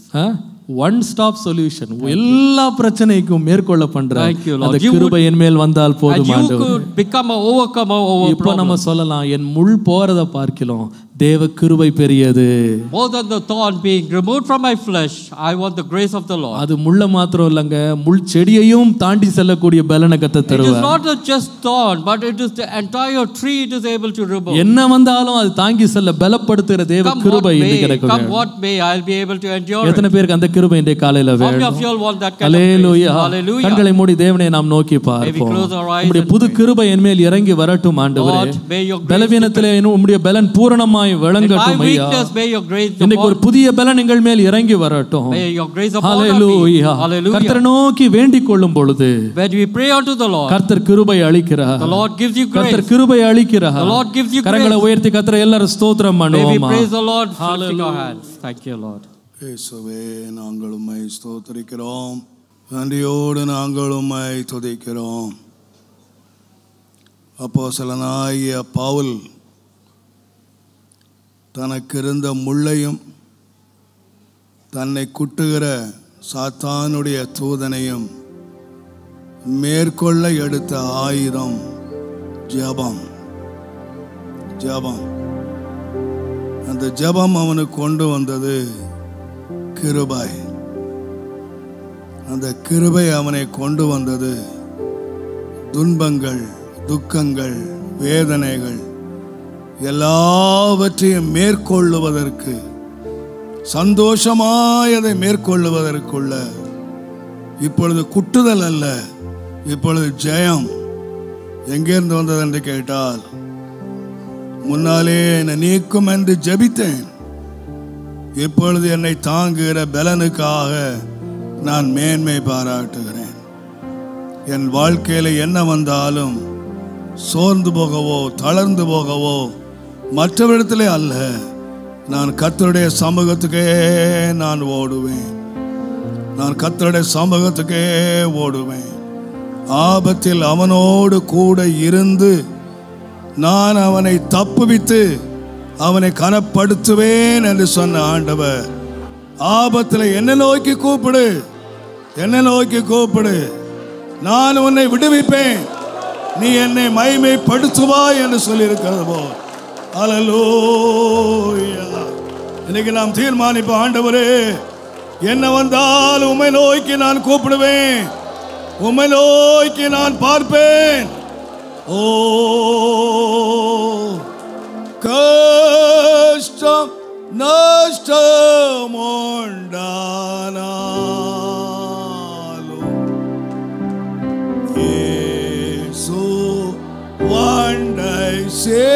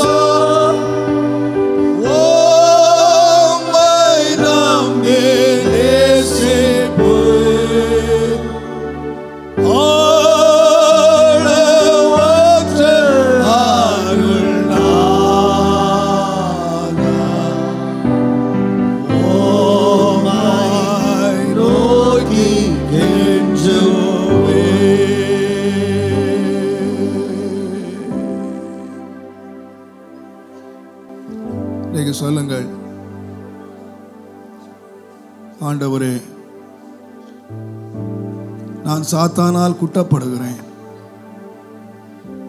இரவும் பகல் இந்த முள்ளினால் குத்தப்படுகிறேன். வேதனையும் கண்ணீரோடும் நான் வாழுகிறேன். இந்த முள்ளை எடுப்பதற்கு வழியே தெரியவில்லை. இந்த சாத்தானை துரத்துவதற்கு எனக்கு வழியே தெரியவில்லை. இன்றைக்கு நான் பவுலோடு சேர்ந்து உம்மை நோய்க்கு நான் கூப்பிடுகிறேன் ஆண்டவரே. என் மேல் உடைய பலன் தங்கும் வரைக்கும் என் மேல் உடைய கிருபை தங்கு வரைக்கும் என்னை பலப்படுத்துகிற கிறிஸ்துவினாலே பலப்படுத்தப்படுகிற வரைக்கும் ஆண்டவரே உடைய முகத்தை நோக்கி பார்க்க ஓ சந்தலா கமாவுரியா கிருபை தாரும் கிருபை தாரும் உமை நோக்கி கிருபை தாரும் என்னை நெருக்கத்திலே கர்த்தரை நோக்கி கூப்பிட்டேன். கர்த்தர் விண்ணப்பத்தை கேட்டார். இந்த ஏழை கூப்பிட்டான். கர்த்தர் கேட்டார். கர்த்தர் எளியவர்களின் கூக்கொல்லை அலட்சியம் பண்ணுகிறதில்லை. கர்த்தர் ஜெபத்தை கேட்கிறதுக்கு உண்மை உள்ளவராய் இருக்கிறார். நம்முடைய ஜெபத்தை கேட்க அவருடைய கண்கள் இரவும் பகலும் திறந்து வைக்கப்பட்டிருக்கிறது. அவரை நோய்க்கு நான் கூப்பிட்டு நான் தப்பினேன். நான் அவரை நோய்க்கு கூப்பிட்டு தப்பினேன். ஆண்டவரே உம்மை நோக்கி எல்லா நிலையிலும் உம்மை நோக்கி கூப்பிட எனக்கு கிருபை தாரும். என்னை நடத்தும். என்னை ஆசீர்வதியும். இயேசுவின் நாமத்தில் பிதாவே.